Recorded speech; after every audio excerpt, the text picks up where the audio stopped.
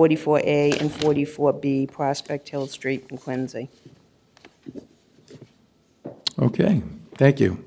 Anybody else would like to speak in favor? How about anybody against? Okay, seeing none, uh, seeing uh, no further um, public comment, I will close this hearing at 6:31. We'll be back in four minutes for the next public hearing. Thank you. The Monday, uh, November 14th, 6:35, public hearing to order. This is a public hearing for order, uh, council orders 2022-133, utility grant location, Mass Electric, Verizon, 33 Newport Ave, and 2022-134, grant of locations, Mass Electric, 33 Newport Ave. At this point, I'd like to ask anybody opposed tonight on this matter? Anybody opposed? Okay, how about anybody in favor? All right. Seeing not uh, further public comment is needed, I will close this public hearing at 6:35. Thank you. We'll be back for the next public hearing at 6:40, um, at 60 6:40. Thank you. Good evening, uh, everyone. It's uh, close to 6:40, so I'll, I'll start the, uh, the meeting up. I'd like to call order uh, Monday, November 14th, uh, the 6:40 meeting of the Quincy City Council Ordinance Committee. Uh, I'd like to bring it to order. Uh, Madam Clerk, will you call the roll? Counselor Andronico. Counselor Cain. Counselor DiBona. Counselor Harris. Counselor Liang. Counselor Mahoney. Counselor Phelan. Chairman McCarthy. Present. Six members, you have a quorum. Thank you. Uh, I'm just going to read the open meeting law for a sec. Pursuant to the open meeting law, any person may make an audio or video recording of this public meeting or transmit the meeting through any medium. Attendees are therefore advised that such recordings or transmissions are being made, whether perceived or unperceived, by those present and are deemed acknowledged and permissible. Uh, Tonight, uh, we have the Quarry Hills lease extension. Uh, I see uh, representatives from Quarry Hills here and uh, folks from the public. Um, Before we start, I'd like to uh, turn it over to uh, Mr. Walker, uh, the mayor's chief of staff, uh, who'd like to go over a few things. Mr. Walker? Thank you, Mr. Chairman, through you. um, It's a pleasure for me tonight, on behalf of Mayor Koch, to present you the home rule petition that will authorize the city to execute a new 100-year lease with Quarry Hills Associates for the property we know today as Granite Links Golf Club. I'm joined tonight, although he's not in the room yet, by Solicitor Jim Timmins, who'll be able to answer any technical questions. Oh, there he is. Hello, Solicitor. Uh, Technical questions relative to the lease itself and the team from Quarry Hills Associates in Granite Links, uh, President Tom O'Connell, Senior Vice President Will O'Connell, General Manager Walter Hannon, Chief Financial Officer Mary Orlando, and Director of Operations Kevin Mason. My understanding through you, Mr. Chairman, is that we expect to handle this process like we've handled, in a similar way as we've handled other legislation in the recent past. We're not seeking a vote tonight. We understand the councils will have questions, and we look forward to hearing the input that members of the public will have as well. It's our hope that we come away from this evening with questions that we, any questions that we cannot answer, with the- having those questions in hand and the answers uh, soon to follow in very short order. Uh, Before I get into the details, I'd like to respectfully ask your indulgence if I go over just a little bit of history. I understand that uh, no member of this current body, with the exception of Council Phelan in his first iteration as a city councilor, uh, was present at the time during the 1990s and and after, uh, when this project uh, took on its face. Um, So the 450-acre site that we know today as Granite Links Golf Club, uh, for decades was a dump, a literal dump, uh, serving both the city of Quincy and the town of Milton.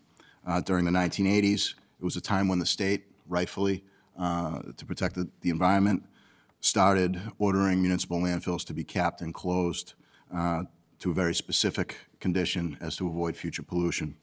Uh, At the time, uh, obviously, our landfill at that site was no exception. Uh, The city was under a direct order to close the landfill. At the time, the discussions about what was going to happen, uh, there was a cap that the city had placed on its portion of the landfill. Uh, Milton's was, was untouched, but even the cap that the city had at that time, the additional preventative measures that we had to use during that time cost the city about $200,000 a year to prevent the leachate from getting off the site. So it it was not a fully closed landfill at that time. Uh, The site, the site was, without question, a financial drag uh, on the city. Enter the Big Dig, the largest public works projects, largest public works project in the country's history at that time, and its need to find a place for millions upon millions of cubic yards of fill. What followed was an extraordinary vision and a great effort by a number of people. Mayor Sheets, this body at that time, I see former Councilor Cahill in the audience, he was involved during that time. Former Councilor Fabrizio was involved at that time. Form- uh, Current Councilor, as I mentioned, Councilor Phelan was involved in that time. Uh, Those councilors, members of the community, and the private partners um, came up with a program with the end product was a solution that provided a place for the Big Dig to take its dirt, a landfill closure plan using that dirt to cap the landfill according to state regulations, and an extraordinary public-private partnership that created a 27-hole championship golf course, one of the region's most sought-after function facilities, new playing fields for Quincy's young people, and millions of dollars of new revenue for the city of Quincy. First home rule petition in the 50-year lease dates back to 1994, and there have been several updates and amendments over that time and beyond, uh, the most substantive of which was developed between Mayor Phelan and Quarry Hills Associates back in 22 uh, 2002. Uh, That body has before it uh, the 2002 amended and revised lease for comparative, pers- for comparative purposes with the new 100-year lease that is the subject of the home rule petition. Again, the- what's before this body for a vote is the home rule petition that authorizes the city to enter the lease. The council is not being asked to vote directly on the lease, although the draft before you uh, is substantive, and we believe it is the working document. You can see from those two documents, that the ori- original lease and the amended version back in 2002 was essentially a construction lease. It spoke to landfill closure provisions, construction standards, the redevelopment of other parcels that were in the immediate area. That work today is all long done, and the language that guided that document back then is no longer operable. Uh, So the new 100-year lease, that's the subject of the home rule petition, eliminates much of that original construction-related language and becomes more so an operational lease. It keeps in, maintains the core provision of the, core provisions of the original lease that relate to the ongoing function of the facility. Guarantees 10% of all gross golf-related revenue to the city. Guarantees 10% of all other net revenue from the, from the facility to the city. That's functions, alcohol, food, uh, for the most part. It strengthen- strengthens the language related to the city's playing fields that will facilitate major improvements to those fields, and it provides Quarry Hills language to allow for major capital investments under all normal planning and zoning requirements by the city. So why are we doing this now, and why for 100 years? Uh, There's two reasons. One is principle, one is practical. The principle is simply, it worked.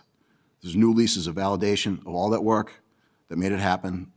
Mayor Phelan, Mayor Sheets, the councils I mentioned, Council Phelan, Council Fabrizio, Council Cahill, all those members of the council at that time, the members of the community, the state legislative delegation, all the members that served on the community advisory committees back then. The facility has matured, and it is working about as well, if not better, than anyone involved back in the 1990s could have possibly imagined.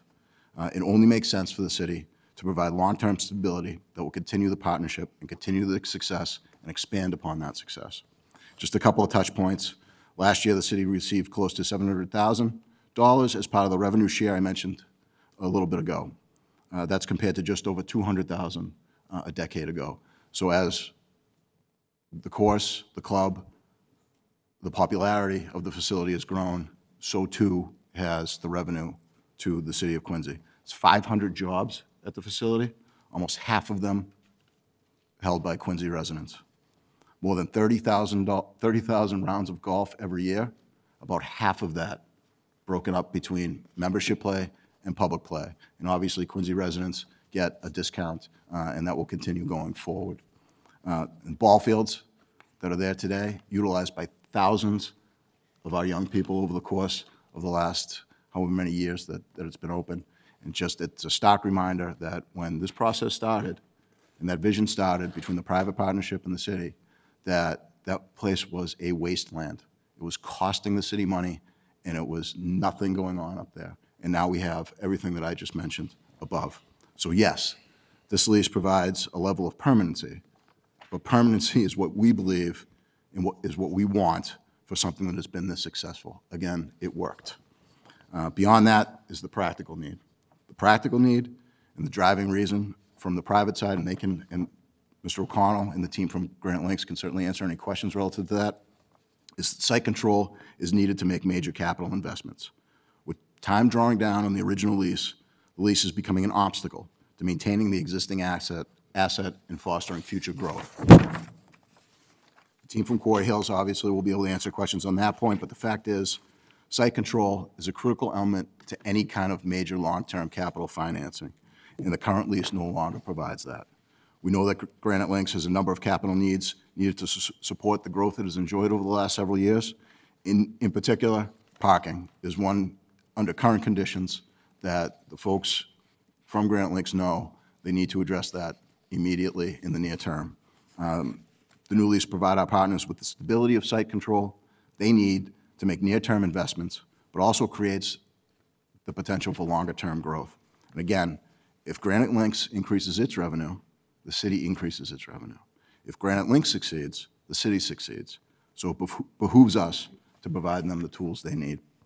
The city is well aware, uh, and I think everyone in this audience tonight and members of this body have been there, and well aware that the access point to Quarry Hills via Furnace Parkway and Willard Street and Ricciuti Drive needs to be addressed. That is a current condition issue that needs to be addressed regardless of anything that happens in the future.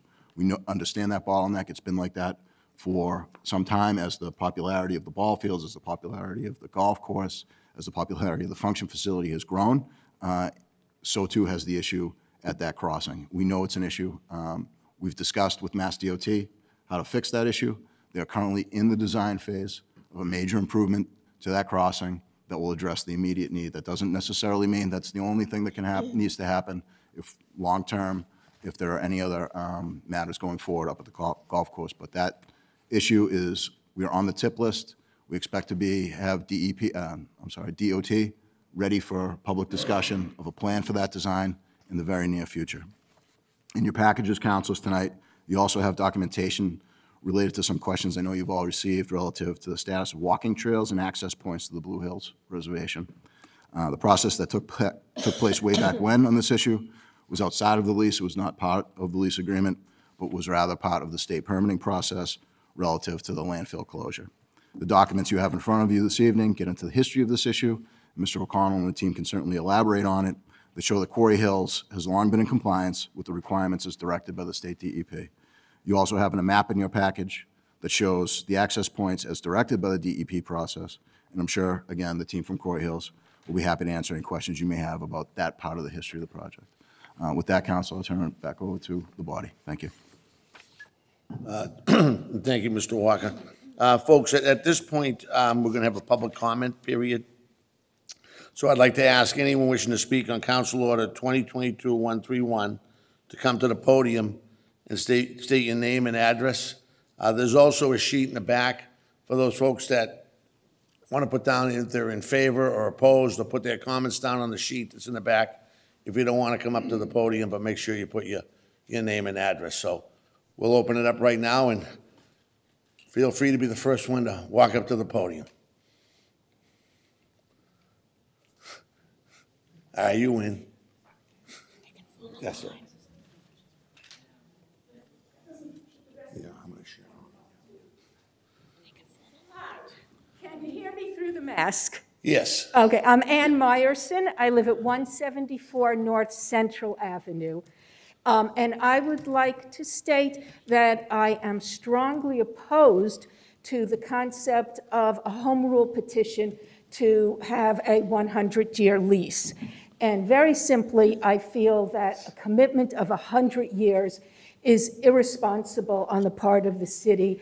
Um, I cannot imagine what the city and the world will look like in 100 years, and I strongly do not think that we should commit ourselves to it. I would also like to state that I feel there's not been any opportunity for public input on the use of the land, on um, how it should be handled until this suggestion came up. And finally, I do want to say that if, in fact, this has been so successful, the city would be in a better position to negotiate and take some competition um, to see who might even be more successful rather than tying us up for 100 years. So thank you. Thank you very much.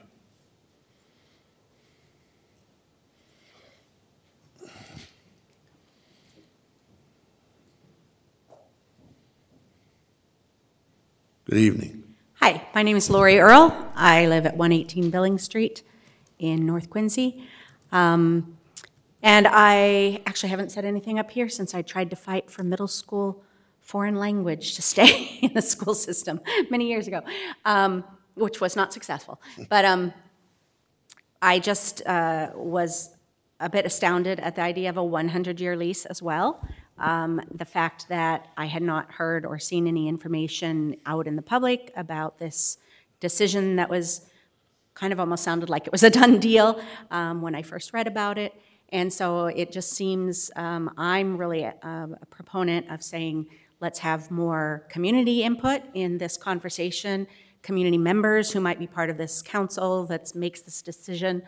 Um, You know, uh, maybe some clar- clarity in terms of the overs, in terms of the oversight of the development expectations and plans. Um, Is it in writing that the city will continue to get these same kinds of revenues from additional? You know, there's divisions between what you get 20% on and 10%. I know that the, uh, I don't think rent is collected for this, so it's just this revenue. Um, And so just the whole, uh, it just seems very rushed, and um, it's a big piece of land in a prominent location. You're right, nonprofits and all kinds of groups love the event space, and it's fantastic.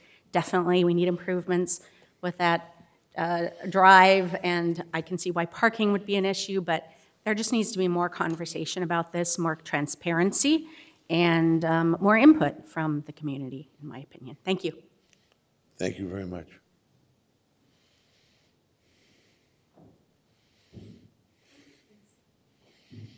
Hi, I'm Judy Lehrer Jacobs, the Executive Director of the Friends of the Blue Hills, and I don't live in Quincy, but I do represent a number of Quincy residents. Um, And I have a list of over 70 people um, from Quincy and from the surrounding area that are interested in this issue.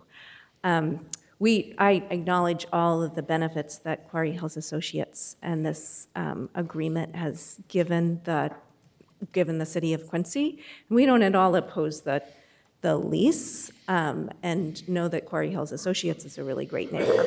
What we have been working on for 25 years as an organization is to increase access to the Blue Hills from um, north of Quincy.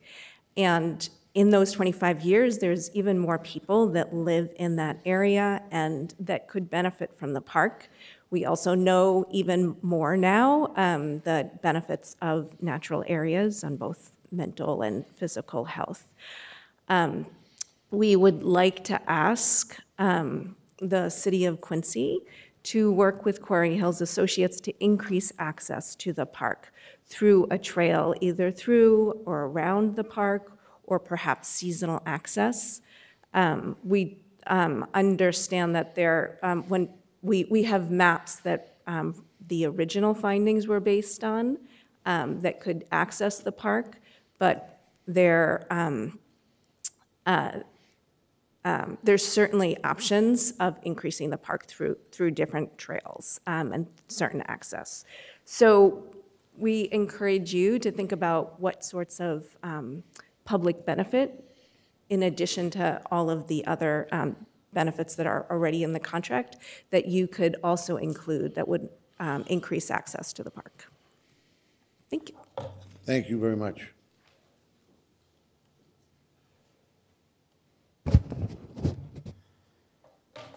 Bill Zamzow, 356 Washington Street, Quincy.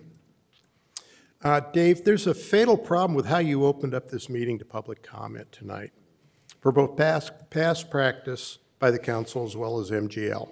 A public hearing, including public comment, should have been duly noted, noticed and advertised. This was not done. Rather, basically, the last minute, apparently you decided to open up this hearing to public comment so that I can only assume would be able to say that such was done in the context of the proposed and intertwined home rule petition. This is no way to do things. As such, I would strongly advise you to close the meeting immediately and then proceed to duly notice and advertise the future do-over meeting as a public meeting. If you do not, I will file an open meeting law complaint. In turn, not only would, should you thus plan on having to do a full do-over of this meeting, but also redo anything further done before a ruling against you might be promulgated. In case you do not follow, close this meeting forthwith, please consider the following additional points. First off, as regards to concerns expressed about a 100-year lease. You, you all might want to notice that a 100-year lease conveys the property leased to the lessee per Massachusetts law to the lessee upon the end of a duly consummated lease. Next, while the current lease agreement is what it is and is thus set, there are additional as well as considerable financial considerations that would arise care of the proposed 100-year lease proposal. For example, the assessed value of the property is currently $25 million. This in turn would work out to a $600,000 annual tax bill this year, were both the land and the property improvements owned by the Con- O'Connells outright per standard practice. Mr. Walker uh, said this evening that current payment is about $700,000, and I had to make some revisions to my comments on the fly. But this does not include, in- this does not include hotel motel meals tax and other things. It's unclear how to be able to parse out how that 700,000 reflects as to what the taxes would be. Also, absent more data, it would appear that the current payment may not provide anything left over to- towards allocating towards the cost, towards the leasing of the city property to the O'Connell Group. Such poses obvious problems. Granted, the original lease was set with some consideration of the fact that the O'Connells took on addressing runoff problems at the old dump sites on the property, as well as various other things. At the same time, if a new lease is to be considered, revisiting the in lieu of discount or ta- ta- tax payment on property taxes should be revisited in terms of what the O'Connells did to affect re- remediation and any other possible factors. Granted, the old system, city was laying out $200,000, but how much did it cost the O'Connells to solve the problem? Have they already recouped that? If that 200,000 was factored into the consideration of things, it's time to revisit. Also, these and all manner of other considerations should be duly calculated by outside experts, as well as preferably those of the council's choosing, or at least duly vetting. Needless to say, such an effort would be complicated. As such, I would propose that the council insist that if a new deal is to be struck, it should be based on a straight sale of the land by the city, and that going forward, the property tax levy on the whole of the property be determined per usual practice, as opposed to the current, the current in lieu of um, what was reported as the gross, but Mr. Walker said the net. Um, It, doing this would make it so much cleaner, as well as there are surely no concerns for the Con- O'Connells about the viability of developing golf food and events, the golf food and events facility two decades ago, because it's up and running, and I'm sure they have fully recouped their speculative outlays and then some. They also got an awful lot of money for tipping the dirt from the big dig. As such, it should be, it sh- as it should be a sale, a sale should be put out for bidding per the standard procedures for disposing of city property. Thank you for your time and consideration. Uh,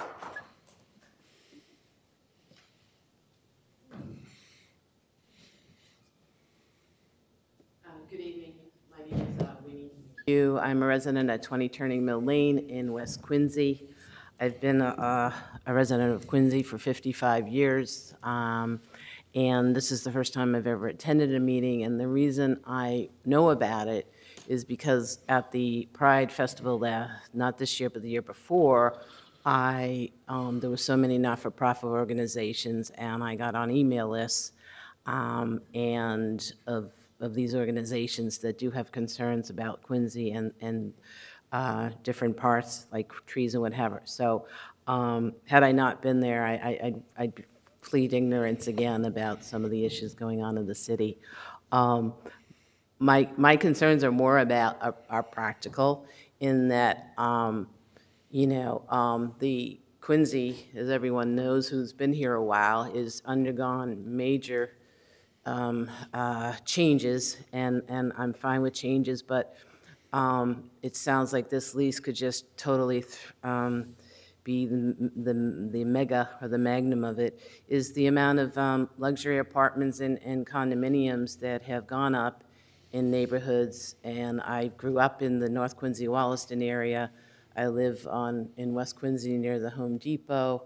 Um, And I, you know, as much as I appreciate how the beauty of Quincy Center looks and some of the pride of, of being in Quincy, never expecting to be here this long, um, I, I feel like um, that to allow in a 100-year lease with a, a- with a set sort of percentage, um, and then not knowing what could be additionally developed without, and I don't know if there's clarity on that, and who's the person, is it Mr. Timmins, that would answer some of these questions as far as legal questions? And um, that's, that's one huge concern I have. I'm not, I don't have kids, so I don't know how the traffic problem is, other than I, I can barely see the road that goes up to the ball fields, because I do go to the, the tavern. I never had a bad ne- meal, you know, I'm not a golfer, I tried it once or twice, but I recommend it highly every time I have family, friends to come to the city. Beautiful view. I remember the Quincy dump vaguely, um, and the Big Dig. And so, I mean, there's no doubt about it. The other concern I do have, and I'll, I'll try to keep it as brief as possible, and, um, is that, um, I, I, to be honest with you, I saw this ledger and I saw this, I don't even know where those trails supposedly are that were done or not done, which, again, I'd like clarity because I've read that it's, they're not clear, they're not there, and then I've read that they are there, they just had to make it differently. Well, I saw the map on the ledger, I blew it up, I'm like, all right, this is like, so it seems to me very outdated. The entrances are not true to what they are now. Um, and I don't even know what's beyond when I take that bare left there. I assumed it was sort of none of my business to know that there might be access to trails and views when you continue on Ricciuti Drive. I never gone beyond that, to be honest with you, because I just didn't think there was anything there for me to do. So I just have practical concerns and lots of questions, and I don't, I don't know how um, the city would want to make decisions without um, uh, community impact and community um, input. Thank you. Thank you. Hi, my name is Sean, and I live in uh, 8 Jackson Street in Quincy. Um, The thing that I think originally struck me, that got me aware of this issue in the first place, was uh, looking at uh, just Google Maps and kind of realizing the absurdity of a situation where neighbors in um, neighborhoods in Milton and Quincy, adjacent to Cunningham Park, live less than a half mile from the Blue Hills Reservation, which is one of the largest and well, most well-preserved uh, green spaces inside of the Route 95 uh, corridor, and they simply cannot walk there, despite the fact that they are separated from the park, the DCR land, by public green space, which exists on public land, uh, City of Quincy land. And it doesn't entirely make sense to me how it can be the case that there can be such little green space in the city of Quincy, um, such hard to access green space in the city of Quincy, and that neighbors uh, can't even pass through it in order to get to their kind of legally uh, legally allotted public land. Um, so looking into it more, the only reason I became aware of this lease renegotiation was because I I started proactively asking questions, which I, I'd like to reiterate the um, the comments about the uh, possible inadequacy of notification about this process. It does seem like by the time I was aware of it and by the time many other people were aware of it, the many other people who are much better informed than I am, uh, that it was already completed and that the lease was already negotiated and ready to be simply signed off on. Um, which to me raises the question, uh, and I don't claim to understand this entirely. There's a lot of details. It's a complicated project. But it sounds to me as though the terms of the lease that were signed in 1994 were obviously acceptable to QHA, and obviously QHA has been able to run a profitable business. Uh, the Patriot Ledger reported that they have paid $4.6 million in revenue to the city in the cost sharing agreement in the last 10 years. So that is an average of $460,000 a year. Um, so if the terms of the lease were acceptable in 1994, when the lease included a long list of obligations that QHA had to adhere to as far as the construction of their uh, the land and the capping of the landfill, then how can it be that the city of Quincy isn't in a position to negotiate a new lease with new provisions? Um, I'm not an expert. I don't claim to have fully understood the, the leases, but I have read both of the leases. And from what I have seen, there is much more removed from the original lease than has been added into the lease as far as requirements or stipulations for the leases. Um, so it, again, raises the question, if the lease was a good deal for QHA 30 years ago, and the needs and the nature of the city of Quincy have changed dramatically in that time. Um, how can the city commit to this effectively the same agreement, but more favorable to QHA and for a much longer time period, uh, time period where quite literally no one in this room will still be here at the point at which the lease is up for renegotiation. And let me think.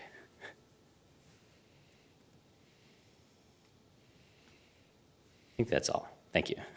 Thank you very much.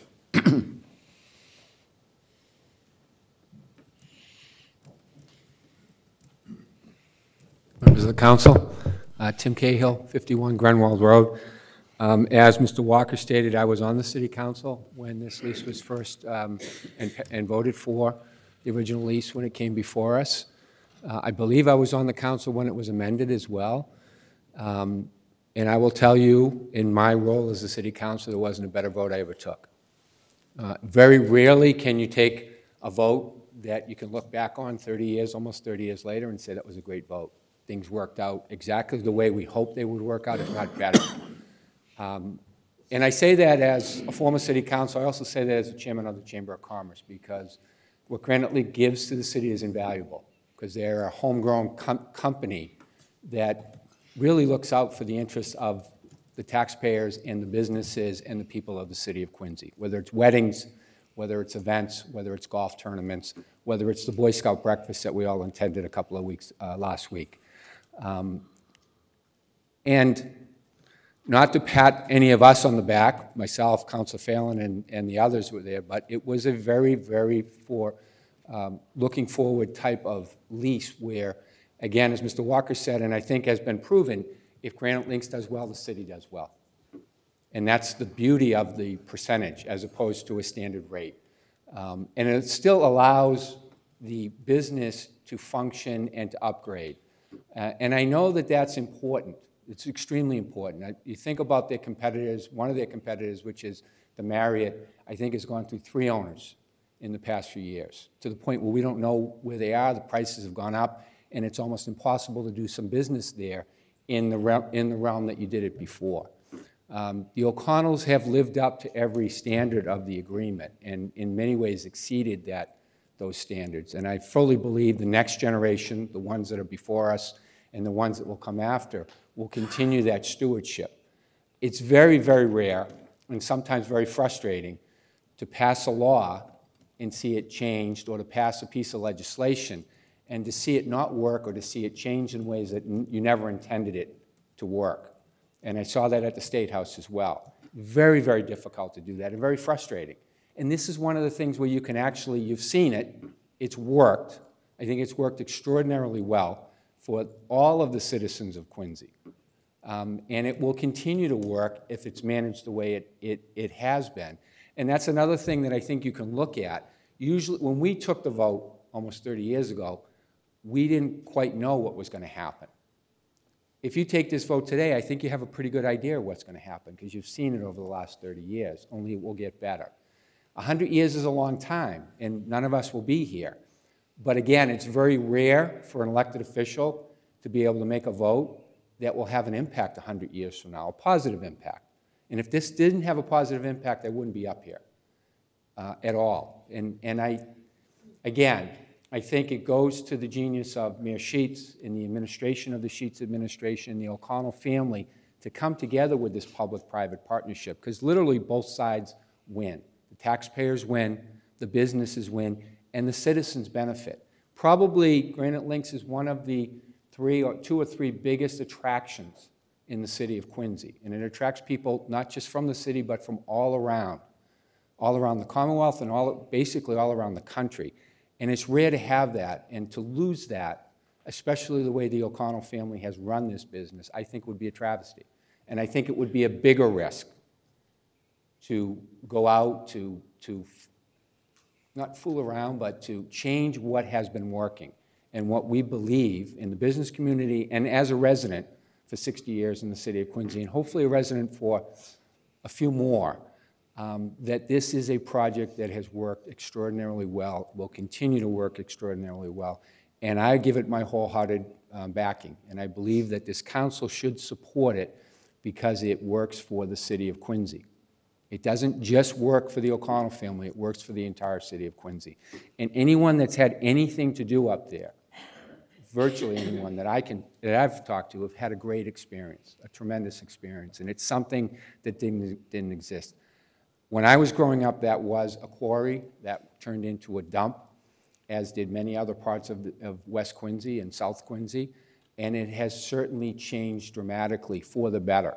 And I would really encourage you to think about that. You have an opportunity before you to make an impact on this city. We're not talking apartments, we're not talking condominiums, we're talking about basically open space, a golf course, 27-hole golf course that people can go up and breathe and see the, one of the best sites in, in all of Massachusetts. And I think that's very important to keep that in mind as the city is being built out, as development comes in. This is something that will lock in what is there right now. And what is there is really beautiful. And I think it's a treasure and it's a jewel to the city, and we should do everything we can to maintain it. So I am fully in support of continuing the lease, adding the years that the, that is being requested. This obviously will go to the State House. This obviously will be voted on by the legislature, one way or the other. And as we've shown, as has been shown, it can be addressed as you go forward, because this has been amended. So it's not locking anything in um, beyond the fact that as things change, that this council or, uh, or the O'Connells, the parties at, at B, the city of Quincy, can come to try to work out something if something doesn't work. But I think 30 years is a pretty good track record, and if it wasn't as good as it is, I wouldn't be standing here today, and you would have another, a different decision to make, which is who comes next. But um, that, to me, is more the unknown that I would strongly recommend against um, when you have the known that's right here. So I respectfully request that you send this to the legislature with a positive approval, um, and then you work with the legislature to get this passed so that this continues to be uh, such an important part of the city of Quincy. Thank you. Thank you very much.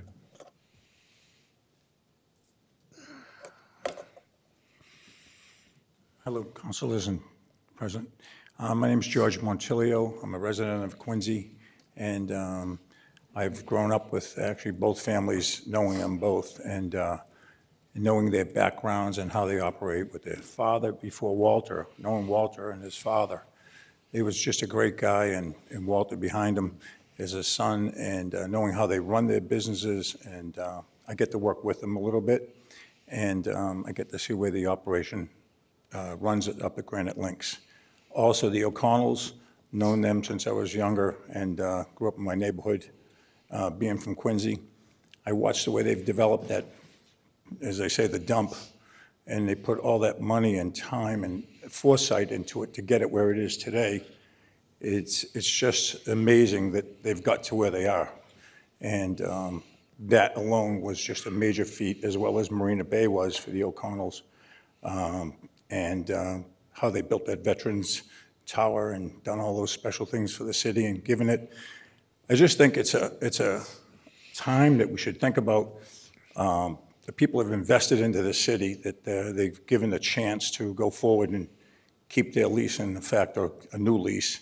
Um, And um, I, I couldn't ask for who would be better than the O'Connells in the um, hands to do something like that. So that's what I'm here to say tonight. Thank you very much.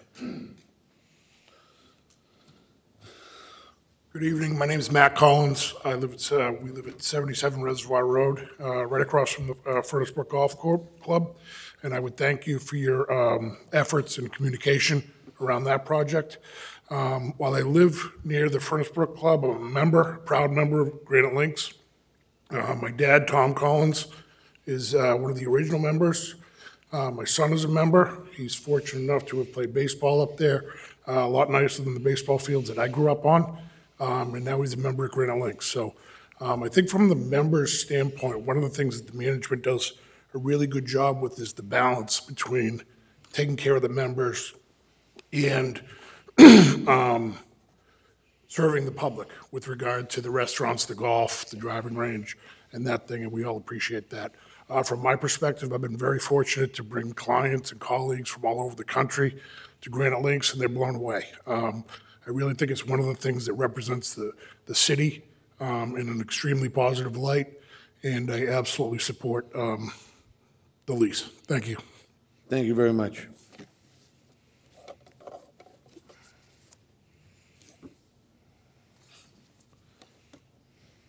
Good evening, my name is Joan Falvey, I live on Lion Street in Quincy.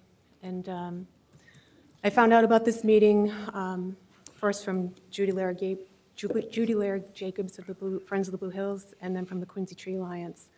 Um, But for the emails that I received from them, I wouldn't know Could you about- speak up a little, Oh, pull sure. that mic a little closer? But for those communications, I wouldn't know about this meeting tonight. I don't dispute all the good that Quarry Hills brings to the area. Um, I guess I would ask, you know, it was a 50-year ground lease initially. I understand why they need a 100-year ground lease, because they're going to finance something. And it seems like um, the cart's before the horse. Mr. Walker talked about, you know, the DOT looking at the intersection there and already kind of revamping the whole traffic um, patterns and thinking about what should be done there. That to me says expansion. I don't dispute expansion, I think it's a great thing, but we don't know what you're going to do with a 100-year ground lease, which you need to finance. So I think that is what the parties here are asking about, in addition to having those paths evaluated um, and opening up the green space. So just a little bit more forethought and notice to the constituents who are here today to find out what the big picture is. Why you need a 100-year ground lease, because you need it to finance, or it's a hotel, or more parking. Um, And you had a 50-year ground lease before. Why was it 50 and not 100? It seems to me the city of Quincy maybe thought about wanting to reevaluate the money that would be coming into them. And that's why they did 50 and not 100. So, thanks for listening. Thank you.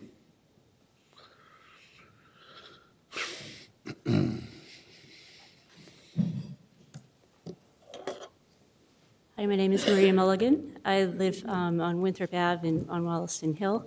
Uh, Thanks for having me here today. Um, I sent you guys a kind of a long-ish letter just before this meeting. Um, Not going to read all of it to you, but there's a couple of things that already have been discussed. Um, But I wanted to actually ask a bigger question here that I think we're, we're all missing. Um, And the question that comes to my mind after reading the order is, what is our vision for the uh, Quarry Hills community and um, in the future? Um, You know, we're talking about, you know, putting more development up there and expanding it, there's a neighborhood up there. How is the neighborhood going to be um, included in this planning process? Has anybody thought about that? You know, um, you know, we talked about the trails and the fact that, you know, what um, uh, Friends of, For- of Blue Hill says that they're there. I read in the paper the other day that that uh, QHA says they're, uh, one says they're there, one says there's not, they're not there. Well, why don't we go out there as a community, walk the site, and see if they're there? And if they're not, let's fix it. Fix it. the playfields. Um, I have firsthand experience of the playfields. I spent many, many years, six, seven years up there playing, um, watching my son play baseball. And I do uh, believe that there is something in the lease that says that QHA was supposed to maintain those fields. Well, we all know that they were not ma- maintained. Besides mowing the lawns, um, there was very little visible um, field maintenance happening. And in fact, because I was one of the parents, I would come there early, fill all the holes in the field, in the batter's box, then they could play. So um, storm drainage issues up at the, up at the fields. After rainstorms, those fields were very muddy. I understand why. Um, It was a landfill. They capped it, they put dirt on top. It doesn't drain. So after um, rainstorms, um, a lot of our games got canceled for a day after because they couldn't play on those fields. Obviously, the fields were not properly designed um, to drain stormwater. Let's fix it. Now's the time. Car access to the ball fields. And again, um, to get to that field, there is a, a very skinny drive that goes up the hill. It's a very steep hill uh, incline, and it's slightly wider than one car wide. Um, Yet, it is used as a two-way in and out of that parking lot. And um, at the top, there's kind of a blind turn into the parking lot, which is pretty dangerous. Um, The drive was never properly designed for two-way traffic, Um, and it poses a safety concern and a bottleneck up at the access to those fields. Let's fix it. Pedestrian access. There is no pedestrian access between um, the Ricciuti Drive and the baseball fields. You come on the sidewalk, you have to walk up that same uh, treacherous, really steep drive to get up to the top to get to the baseball fields. Well, let's fix it, right? Traffic. Mr. Walker mentioned this before. Um, Often on Saturdays, right before games, we would have to, um, you know, build in another half hour into our schedule to get over that off-ramp to get into Quarry Hills. Obviously, uh, it's not only a nuisance, it was, a- it's a significant safety hazard. I'm glad to hear that somebody is starting to think about it. Let's fix it. Um, My summary here is that Quarry Hills needs a master plan. There's all these issues. It could be awesome. It has the best view around. I'm up there a lot. I love it. However, it could be way, way better. And if you're considering um, putting more development up there besides the golf course, whatever, let's put together a master plan together um, as a community. Um, Let's fix the trails, let's fix the ball fields. And um, so in the long term, if the city desires to improve the quality of life in that neighborhood by enhancing the valuable recreation, historic quarries, trails, open spaces, while entertaining potential expanding commercial development adjacent to the golf course, that it should be done in a holistic, integrated way to include um, addressing traffic and pedestrian safety and stewardship of the environment. Such planning efforts would, could be undertaken by an urban planner, um, and it would be a great use of the COVID funds that we have. Let's take a step back. There's 20 years left to this current lease. what is the rush? Um, To summarize, smart development and a new visionary master plan is what's needed at Quarry Hills before the city should consider signing any extended lease with any developer. Thank you for your time.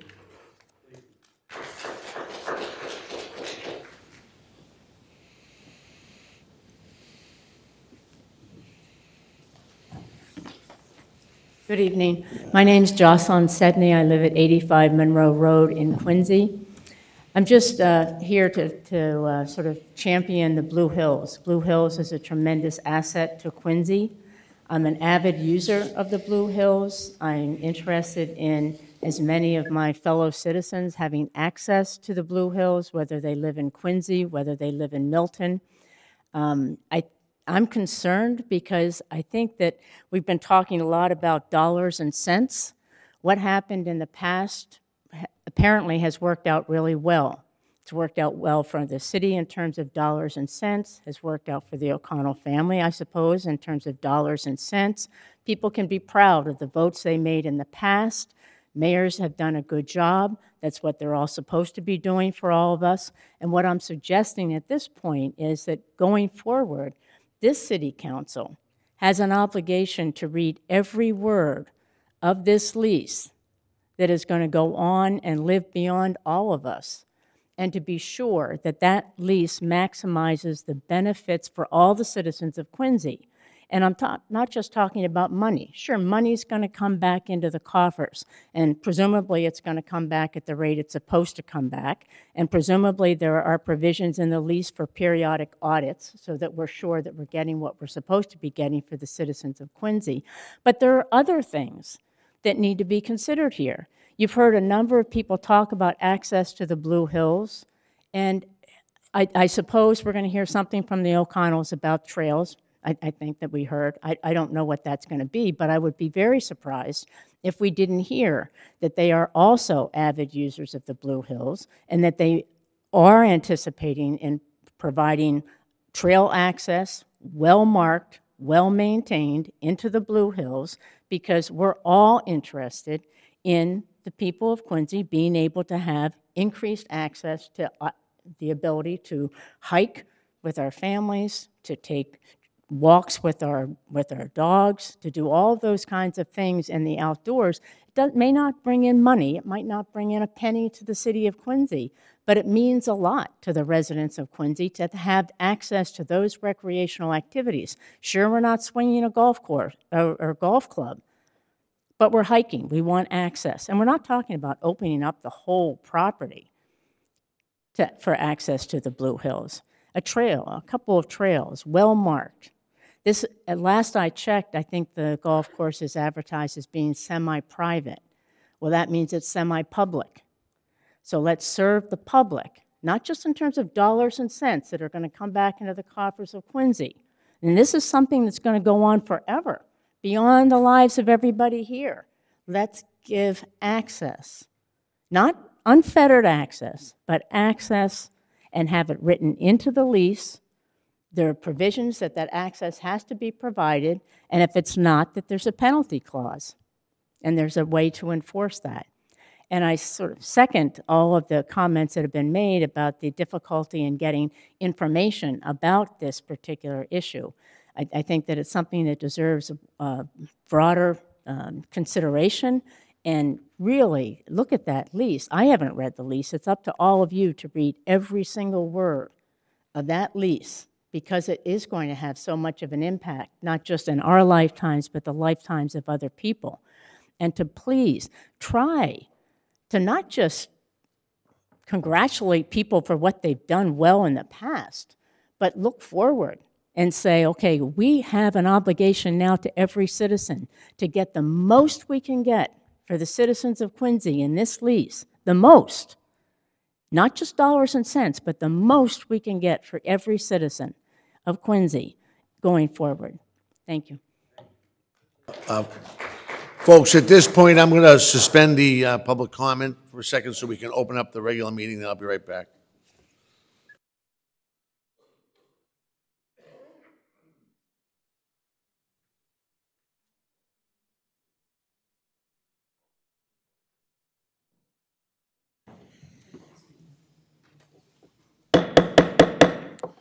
I'd like to call the, um, the regular city council meeting of Monday, November 14, 2022. It is now 7:33.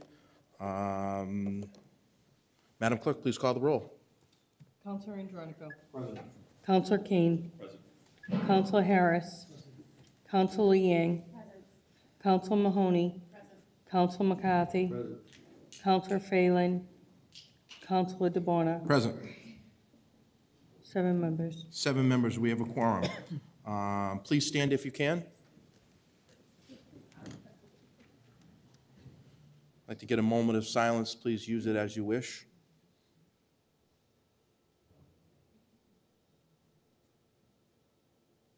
Please turn to the flag. I pledge allegiance to the flag of the United States of America and to the republic for which it stands, one nation, under God, indivisible, with liberty and justice for all. Madam Clerk, please read the open meeting law. Pursuant to the open meeting law, any person may make an audio or video recording of this public meeting or may transmit the meeting through any medium. Attendees are therefore advised that such recordings or transmissions are being made, whether perceived or unperceived by those present, and are deemed acknowledged and permissible. Thank you, Madam Clerk. We're going to recess and we're going to go back into our ordinance committee. Thank you.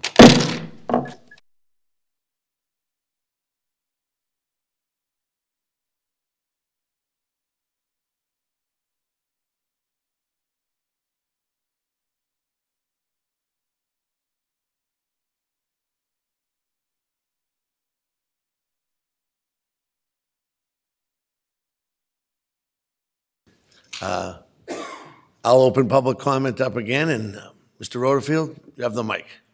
Thank you. Um, John Rutherford, 62 Grunwald Road. Um, Everyone who's spoken tonight has made great points. Um, I agree with just about everyone, so it's hard to make everyone happy. Um, I don't think involving um, planning will help at all. I've been to many, many planning meetings, not to do anything disrespect Mr. Fatsis, but this is a private thing. Um, one of the greatest things in Quincy right now is the golf course. That is, you say, like, what's one of the coolest things in Quincy? It's the Granite Links Golf Course. If someone comes into town and you want to take them to eat to someplace cool to eat, you do take them to Granite Links. That's a very cool place. So when I was younger, I went to high school in the 80s. That was quarries. I went swimming in those quarries. I'm not sure if any of the counselors in front of me went in those quarries, but after those quarries, it was nothing. It was a barren land. So it was, people would get rid of old cars and throw them away in the quarries, or people would go up swimming, and, you know, it was useless land, basically. Not like Quincy Center. Quincy Center used to be vibrant. Up there was useless. So they took something that was nothing, and they made it into something. So we've spent over a billion dollars in loans that we've borrowed to try to make the city better. What they're trying to do is, they need this lease. I'm a little bit confused on if you're going to add 99 to the 24. So technically, is there going to be 124 years? I'm not sure if you're going to end the 24 and start a new 99. Um, But none of us are going to be here in 99 years. A lot of us aren't going to be here in 24 years. Um, One thing I think you got to write into the provision, because I go over the numbers all the time, if we, let's say, we're basically the landlords and they're the tenant, and we're going to lease them that for 99 years. Well, what happens if the city of Quincy has to file for bankruptcy in 20 years? There needs to be a bankruptcy provision that's put into that, because that could happen, because we need revenue.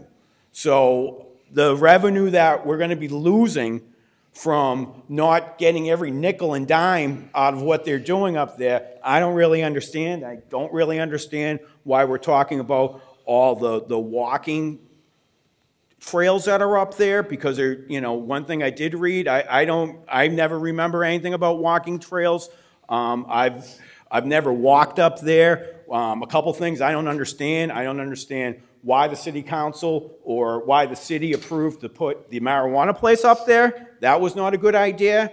Um, I don't really think the ball fields were a good idea. Um, as you could see, the ball fields, that would maybe be a good place for some senior housing or something. Um, um, they took away ball fields that we used to have before. I mean, what if someone has to drive their bike or walk to go play baseball. You pretty much need parents that have a car, and that's not inclusive of everybody. So we want to be a city of being inclusive. I did notice on one of those flyers that we have that we're advertising these walking trails we have all throughout the city and stuff. But you can't advertise walking trails that go across a fairway or that are someone's going to get hit by a golf ball that's dangerous for people to go walking on. So one thing um, I'm going to say, I agree with Mr. Zamzow. We're not trying to hide anything here. Um, the O'Connells have been in the city of Quincy forever.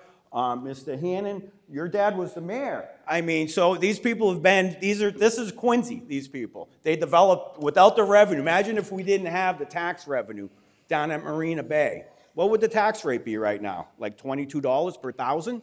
So we need the new growth. We need a reason for people to want to come to the city of Quincy. So why are we doing this now? I don't know. A lot of stuff in Quincy doesn't make sense to me. I'm, you're, we're not allowed to go behind that row. You guys are there making all the decisions for us. We can elect officials twice a year. I wish we could have a mayor that was every two years instead of every four years. That's a mistake that I think we made a long time ago. But what we do have to do. Stay with the lease. Okay. So, well, if, we- if you want to stay with the lease, one, Well, that's prob- what we're one here for. problem I do have with the lease, I would appreciate with, in the future, whether it be next month, next year, or even five years from now, because I do plan on being around for all three of those terms, okay? Um, I would like the presentation, you know, like present to the public what the lease is and what's going on. Then let us make a public comment. How can I comment about a lease that I've never read? How can I comment about an LDA agreement that I don't see? I just got to make stuff up when I'm going. I don't, I don't prepare notes. I just know that the lack of information, it's hard to find. I don't, you know, it's wrong about giving us little bits of information um, in the Patriot Ledger okay? You're not supposed to be, people aren't supposed to be coming up here and say, hey, I read this in the Patriot Ledger, because everything that's printed in the Patriot Ledger, that does not mean that it's actually true. It just means that it was printed in the Patriot Ledger. I believe something more if it was printed in the Quincy Sun than I do if it was printed in the Patriot Ledger, if it was about the lease, if we're talking about the lease. So, um, in a total nutshell, I'm actually for this. All right. And, and, you know, and it's, you know, for everyone that's complaining about everything, there's been so many. I remember they gave Mayor Phelan a, um, a, a hard time about the Honeywell deal. Oh, he screwed up the Honeywell deal. He screwed up the Honeywell deal. There's been so many things that, you know, I wish the public would have came to speak about, you know, that we need help. We need people to get involved. So it is good that people are coming up here and they're speaking, but it's kind of like they're speaking against people that are actually helping the city. So that's why I'm a little bit confused. So I want everyone to be happy. I want Quincy to be a great place, and I want Quarry Hills to make sure you start serving Heineken, because the last time I was up there, there wasn't any Heineken, okay? And other than that, I'm for this with the All right. Heineken Thanks, John. approval. Thank you.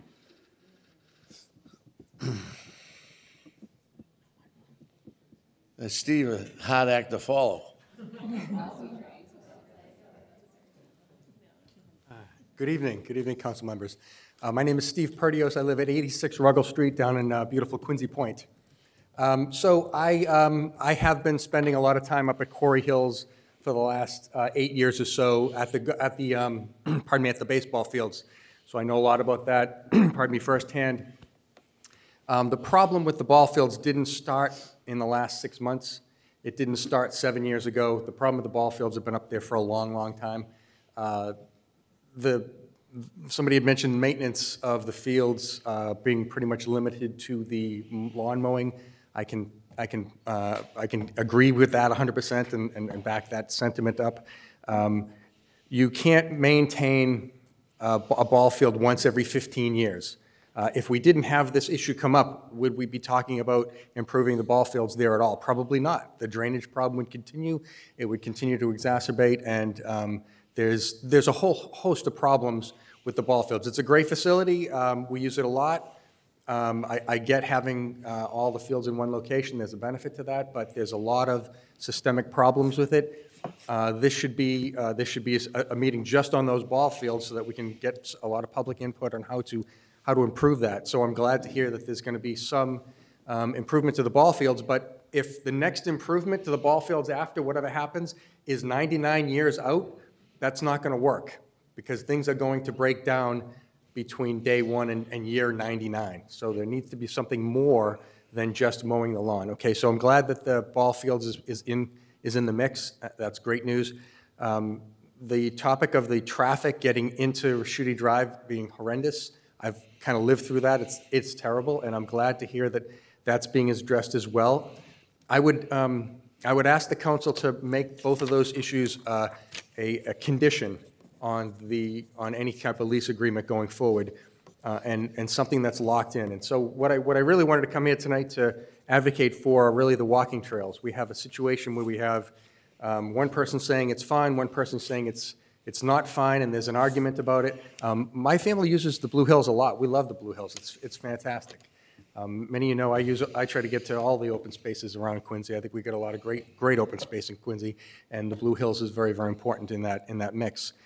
So um, I, I think it was Ann, I think that mentioned, uh, let's go up, let's go find out, let's have a site visit, let's have a city council meeting up at Quarry Hills, and let's walk the trails and find out where they are. We have, we have, you know, we we can both, we can take a piece of paper and dump some ink on it, and fold it in half and open it up, and you'll say it says one thing, and I'll say it looks like something else.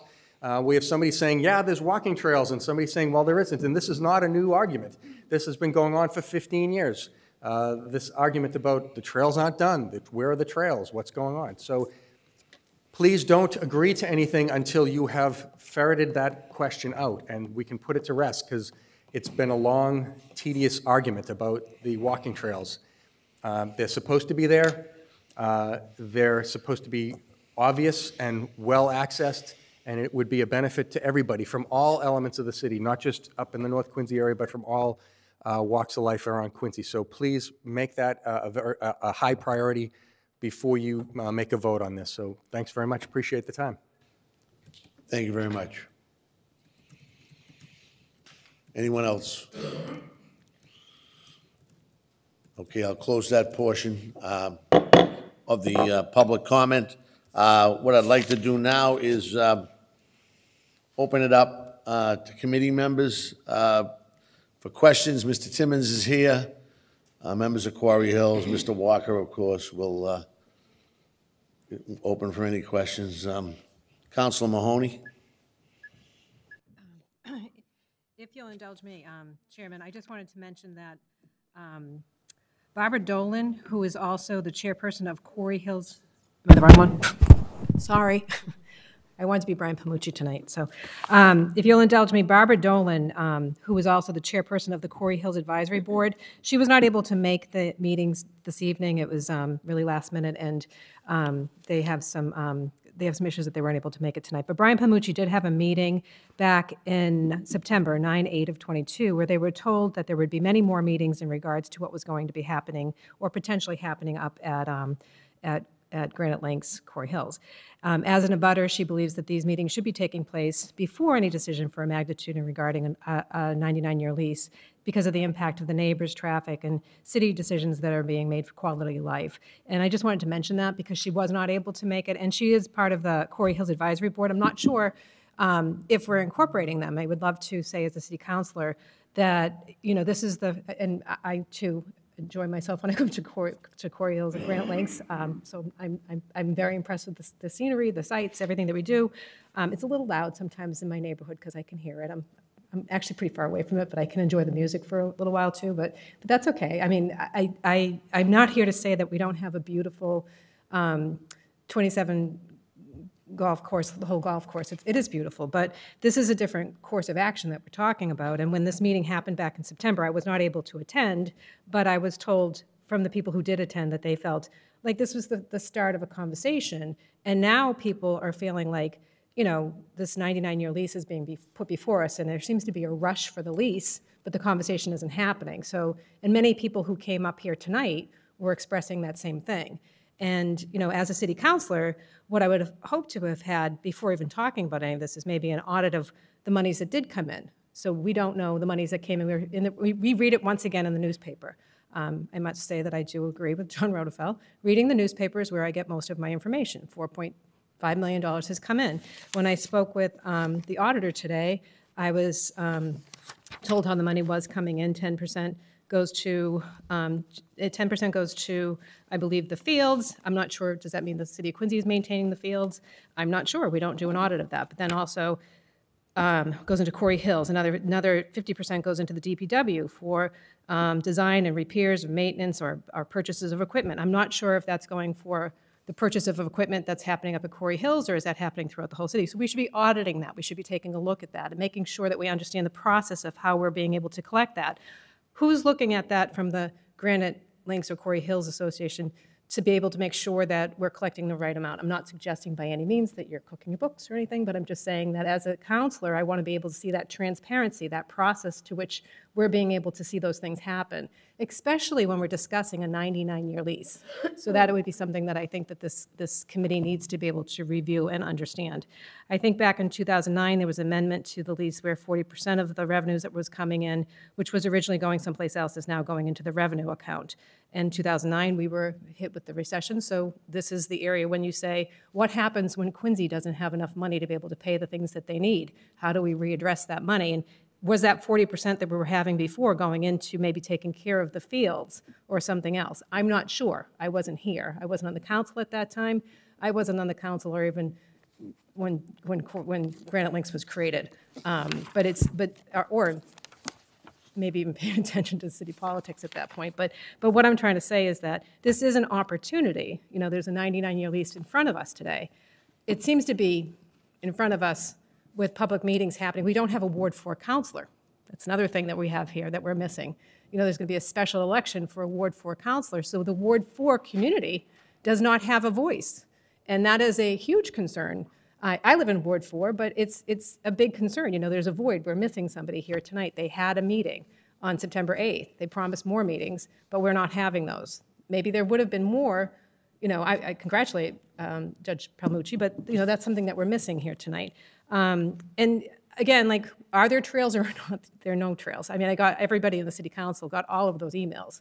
And, you know, reading in the paper, it's like, no, we don't have to have the trails. The state said we didn't have to have them, but then there are trails. I know we've walked up, up there, and there are kind of trails you can get to. I'm not sure if they're legit trails, but you can kind of weave your way through the woods, but they're not maintained trails. So I think that would be really beneficial if we all did go on a field trip to kind of walk through the woods to see the trails. Dave, Council McCarthy is loving that idea. But I think that it, that would be very, very, very beneficial. So, I mean, I, I appreciate the, the um, public forum tonight, but I can't tell you how many people who reached out to me who said that they didn't know that there was a public forum tonight and it was I think it was because of Veterans Day. There was it was it was people just didn't know about it. So I think more people would have been here had they known. And you know, and the presentation, I think the missed opportunity was that you know we could have gone back and taken a look at maybe what we have done over the course of the 50 years, the successes that we had, to really present it and explain it to the general public as to what has happened, what was what did we expect was going to happen in that 50-year lease. We have 22 years left is this, I do have the same question, is this, you know, is this 22 plus a 99-year lease, or is it 99 years? If we sign it tomorrow, will be 99 years going forward. And, you know, why are we doing 99 years? What, what's the, ben- I mean, I know the benefit of 99 years, but we did a 50-year lease first. Why would we not do another 50-year lease? Is there a reason for that, that Granite Links, to be able to accomplish some of the things that you want to do, is that, is that the reasons? We need to understand that and to be able to, under, to understand whether or not we're doing the right things for our constituents here in Quincy. I know that this is not really one question, Dave, but there's just so much that needs to be unpacked with what we're talking about here tonight. I see this as multiple meetings and potentially community meetings and many more public opportunities. But to go back to Barbara Dolan, who's part of the Quarry Hills Advisory Board, I'm not even sure. I, I, she says that it's still it's still around and there's been no communication. So I'm not sure who's on that advisory board, but it might be important for the city council to understand who's on that advisory board. Um, I don't say, I don't know if that board's, uh, I was on that board 20 years ago. Well, Barbara seems to think that the board has not dissolved. Still on it, so- I guess. Yeah, so, so, so I think that might be an important thing, that before we start talking about another potential long-term lease, we should probably maybe consider how we put the parameters together to discuss some of the community efforts. What does the community want, and how we can and- move and that together. Tonight, I I spoke with Mr. Walker and the administration, you know, we're going to absorb Mhm. the comments, um, you know, before we take a vote or anything. No, I appreciate that. And, I- and like Steve brought up the baseball fields and the access and some of the, some of the things that, that'll be tweaked in the lease, so, uh, Yeah. we'll get all our, our, our, our discussion in tonight and we'll No, come back again. I appreciate that. I just, and, and and to finish up, you know, as a parent of, uh, of, of children who did use the, um, the soccer fields, I mean, there's, there's so many people who have used those soccer fields, besides the point of not being able to ever allow your child to walk to the soccer fields, because you did have to drive, so you had to actually add another 45 minutes in your day to go to the soccer fields. When you did get up there, um, you know, the, the, the, the people who were running the soccer groups would have to either rent generators to put lights up there, or they would park around in circles with their lights on so that kids could play soccer because the field, it would get darker. So these are things that, you know, we- maybe as we get the community input, we might be able to figure out ways that we can improve these things as a whole that could benefit not only, again, our city, but our community and tying into those things. So um, there's so many other questions that I'd have, like what would, this is one question, I'm sure we're not going to get an answer, but again, you know, can this be sold? We have a 99-year lease with this association. Is this something that potentially, if down the road, could this, could, could this lease be sold to another owner of the golf course? And how does that work, or does that change the lease? Um, Or in a situation like Brook Golf Course, where we had a lease and they ran into some problems, and the city ended up financially helping Brook Golf Course and then eventually taking over. I don't think we could do half the job. I don't think that's your goal, because I don't think we would do a good job. But, but, you know, that's, those are the kind of questions that we do have to take into consideration. So with all that, there's so many things that, there's just so many touch points that we have to kind of go back and look at to be able to figure out, is this the best um, possible move for the city. And I'm not saying it's not, but it's something that we should be discussing so that we can be fully transparent to the taxpayers as to what they can expect. Because obviously, in the first 50 years, there were some expectations. We were going to get trails, we didn't get trails. There's some confusion as to whether or not we have trails. So those types of things. And I have one other question for um, Mr. Walker. I don't know when you said, if you could just explain the, and I, I know it's in the lease, but if you could just explain for the general audience that's out there, uh, the fees, you said 10% of the, was it gross or net? 10% of the gross for golf fees? It's actually both, Counselor. Okay. One is 10% gross of all golf-related revenue. That's rounds of golf, driving range, anything related to the activity of golf. Hmm. The other piece is 10% net of all other activities Okay. generated by the facilities. That's the function facility, the the restaurant, uh, beer, alcohol, those sorts of things.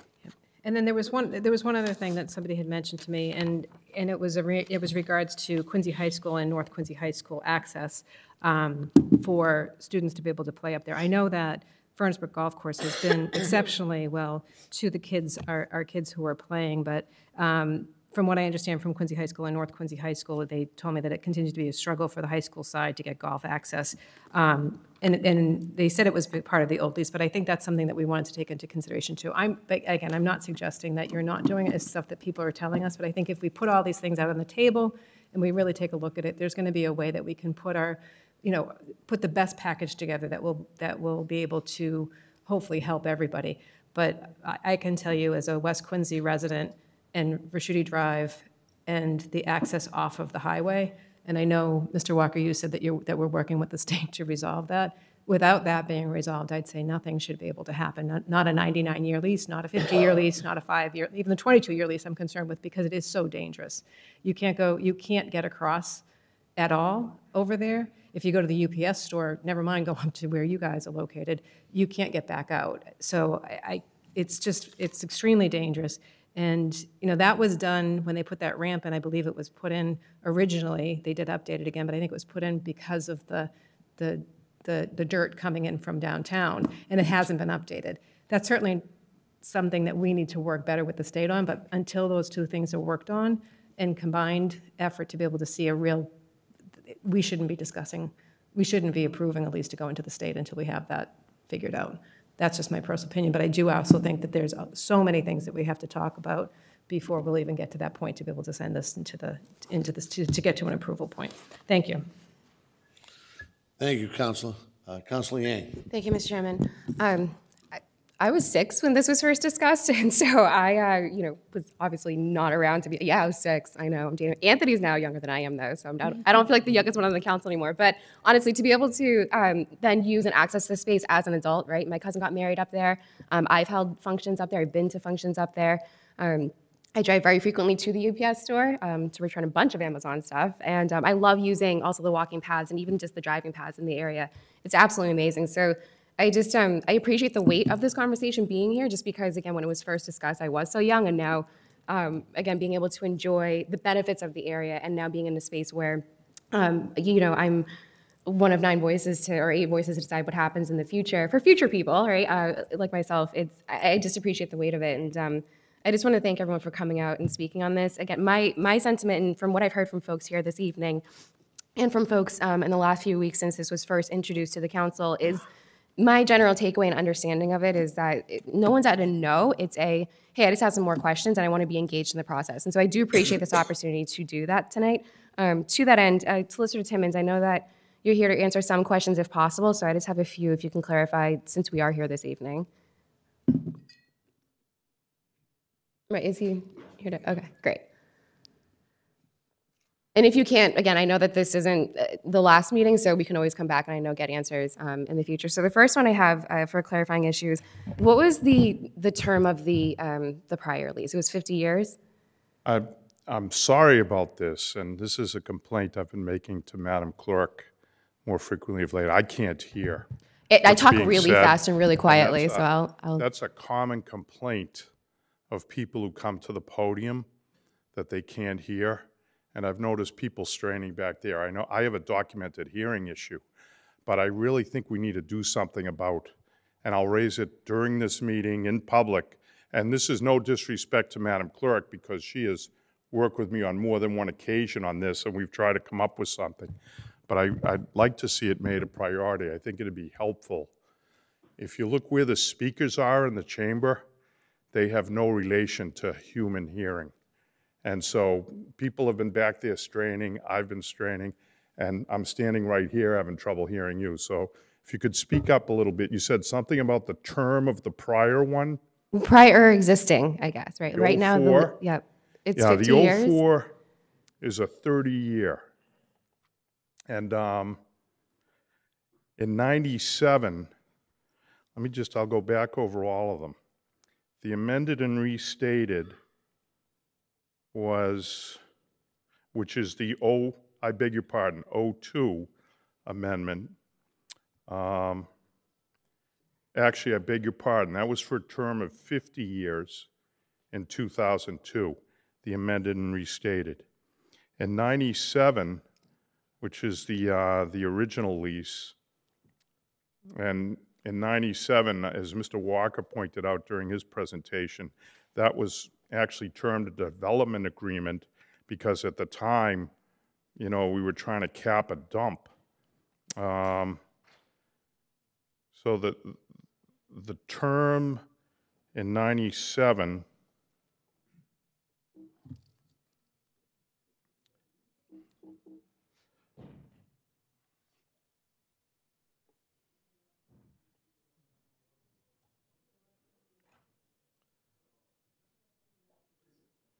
Let's be one minute. Uh, Do you know the term in 90, the original lease?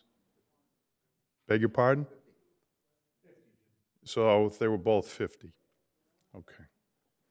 Okay, but as it stands right now, where the lease is going to expire in 2052 then, right? The current lease? Uh, yes, that's correct. Okay, and so if, I'm just thinking, I'm saying for time's sake, we're not voting on this tonight. If it were voted on in 2022 and passed in 2022, is it 99 years on top of the two, like the 2022 timeframe or on top of what's still remaining? That's correct. Okay, okay. Um, and then the other questions, The point of ahead, this sorry. was to draw up a, a new agreement. In 97, it was a, a, a major project. And it was revisited by then Mayor Phelan in '02 because we now had a golf course and we could see what was going to happen. So it was based on the current climate in '02. Uh, We're revisiting it at this point because we've seen how that golf course has worked over the past two decades, and because the operator has some plans for how to work with um, trends in the golf industry and what's happened at the course itself. Okay. Um, I don't know if you're the one to answer my next two questions, um, or three, but, you know, again, if he can't, then we can always carry it through to the next meeting. Um, uh, Mr. Walker had mentioned earlier that there is going to be the traffic assessment that's going to be addressed from DOT. Now, I know that we have a good relationship with the state. Do we have an idea of timeline for um, uh, certain points of uh, sort of just checking to see that we're moving in that direction? So whether it's, you know, them giving us an updated assessment or doing a traffic study or funding, like, do you know what I mean? Like, what are the points that we're trying to hit so that we know that there is going to be work and that we all, you know, can expect what's to come with the improvements?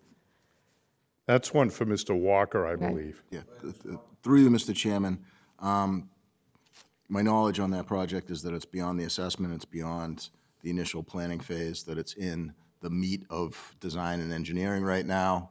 Um, And when it reaches a certain point, as you know, Counselor, it- you go through 25, 50, 75% on the state design program.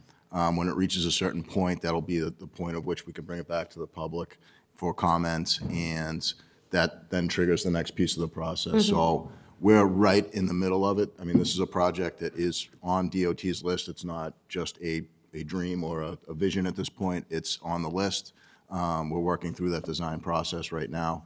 Um, And I would say in the very near term, we're going to have something to show the public and begin the- the- that comment period, and then take it to the next level, the construction level. Mm, But they haven't given you a sense of um, within the fiscal year, or, you know, this is, hey, that- this is Yeah, I mean, I expect that to be months, not years. I see, okay. That we'll be ready to, to show something. Okay. Um, The other question I have is about the footpaths. You mentioned that is now something that we need to talk to DEP about. So I, I'm trying to just also, because when I go, I just sort of park wherever I can park and just walk, right? Like I don't look at my Google Maps to see where I am. And um, similarly, sort of like looking at this and not actually standing there, I'm- I'm a little bit confused. And so I apologize. Is there somebody that can just clarify for me what is being considered, if at all, or wh- where exactly the issues are? I just, I, I feel as though I don't have like a full understanding, and I want to have a full understanding for this conversation. Through you, Mr. Chairman, I'd, I'd ask Mr. O'Connell to address that specifically. Uh, just to back up, I'm sorry. Thank you, by the way. I'm looking forward to your presentation. But when you gave the history of how we got here, Mr. Walker, that's essentially what I'm looking for in detail for the, the walking paths, right? Like, where did it start? How was it part of the negotiations? Where are we now? And then, sort of, what's the future for it? Mr. Chairman, councilors, thank you very much for considering this matter. So the question is hiking trails? Yes, or the footpaths, right? Like the the the sort of I think overarching concerns that I've heard from folks here this evening and folks who've called and emailed are traffic and the the the walking, the footpaths, or the walking trails, whatever you want to call them. First of all, I wanted to say that I agree with so very much of what was said here. There's, there's lots of questions, and there should be many, many discussions. But as it relates to the hiking trails, when I first got involved with Granite Links approximately 15 years ago, I first approached the DEP to try to clear up any of the outstanding items. There were numerous uh, wetlands that needed to be dealt with, uh, landfills that needed to be closed, there were the hiking trails issues that needed to be resolved.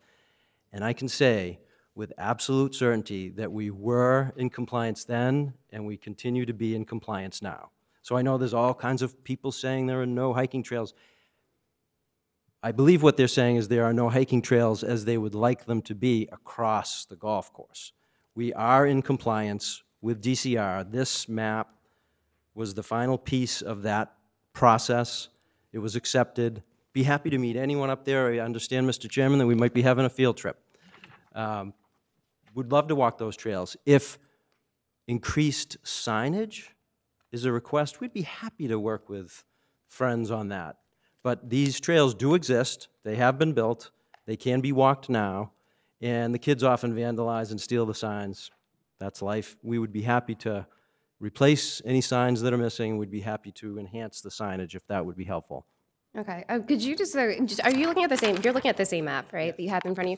Could you, uh, so the yellow, I was trying to read through the lease as well, I got halfway through it, so, uh, but there was a section in the lease that did talk about the, the trails and said that it was highlighted in yellow, so what am I looking at with the yellow, um, on this end, on the, on the, the far left-hand side of the page? Um, what's marked in yellow right now, but then there's some, it almost looks like from the aerial view, like so on the on the left side of your map, right? And I'm sorry because this is like so far and so small from you.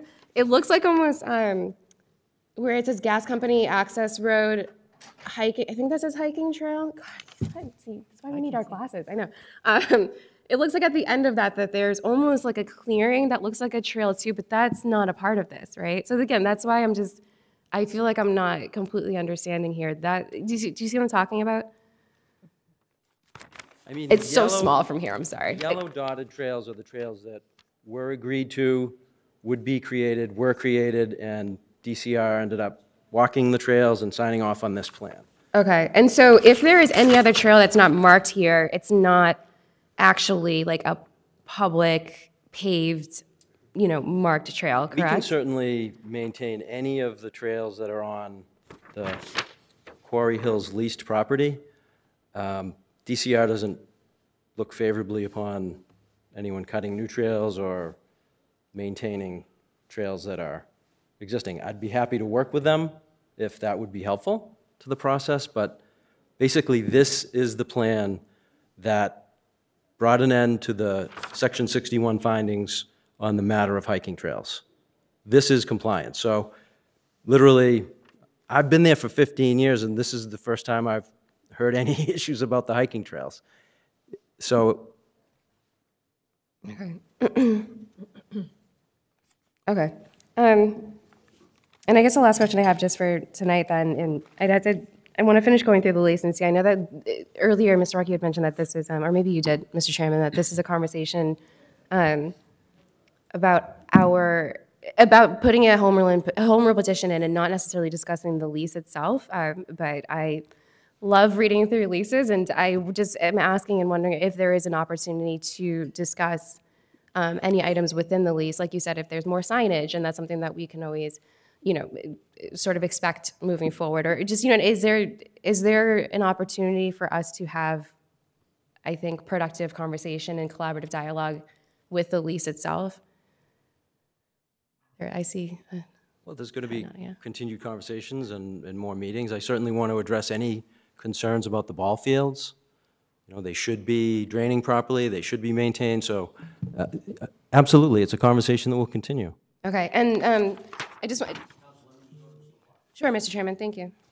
Uh, Through you, Mr. Chairman, just to clarify a little bit, because I think I was the one who said it, Counselor, that the order before the body is the home rule petition Mhm. that authorizes the city to enter into the lease. By no means was I trying to suggest that this body, the members of the public or anyone else wouldn't have the ability to weigh in, ask questions, comment, offer suggestions to the body of the lease itself, of course. Yeah, okay, cool, thank you. Um, it's the last thing I want to say in this is I think, um, more of a statement and maybe a question of opinion, but, um, you know, taking a look at this and again, reading through the lease as much as I've gotten through it and hearing the conversations tonight, um, I I think leasing it for 99 years, yes, it's a long time. Um, I feel though hesitant to entertain a sale only because if and when the lease ends, and there are some termination agreements that I have seen in here from what I've read so far, the land then always will come back to us, uh, right? Even if I'm not the one sitting here 99 years, right? That if we sell the land, I mean, that's it, it's gone. And yes, the, the tax dollars would be incredible and consistent, right? If and when until, God forbid, something happens to the business, right? Or it gets sold. And as a private owner of the land, you sell it to somebody else who now privately owns the land, right? And we have a lot less, I think, um, control over that conversation. And so again, this was meant to be more, I think, of a statement, but also if folks have any um, thoughts on the opinion solicitor or Mr. Walker on this, I think that, you know, just the thought of, okay, yes, this is a very long-term lease, again, that will outlive me. However, at the end of it, knowing that there are termination agreements within the 99 years, if something, you know, goes away that doesn't, I think, favor either party, um, or at the end of the 99 years, whoever is sitting here can have another discussion about what to do with that property. I prefer it that way. Um, I like it when Quincy has control over our properties, and so th- those are my thoughts on it. Um, there's a lot that, again, I still want to come back with, Mr. Chairman, and I appreciate that we have room for more dialogue. I think that the lease is quite extensive, and um, I look forward to continuing to talk to you all about it.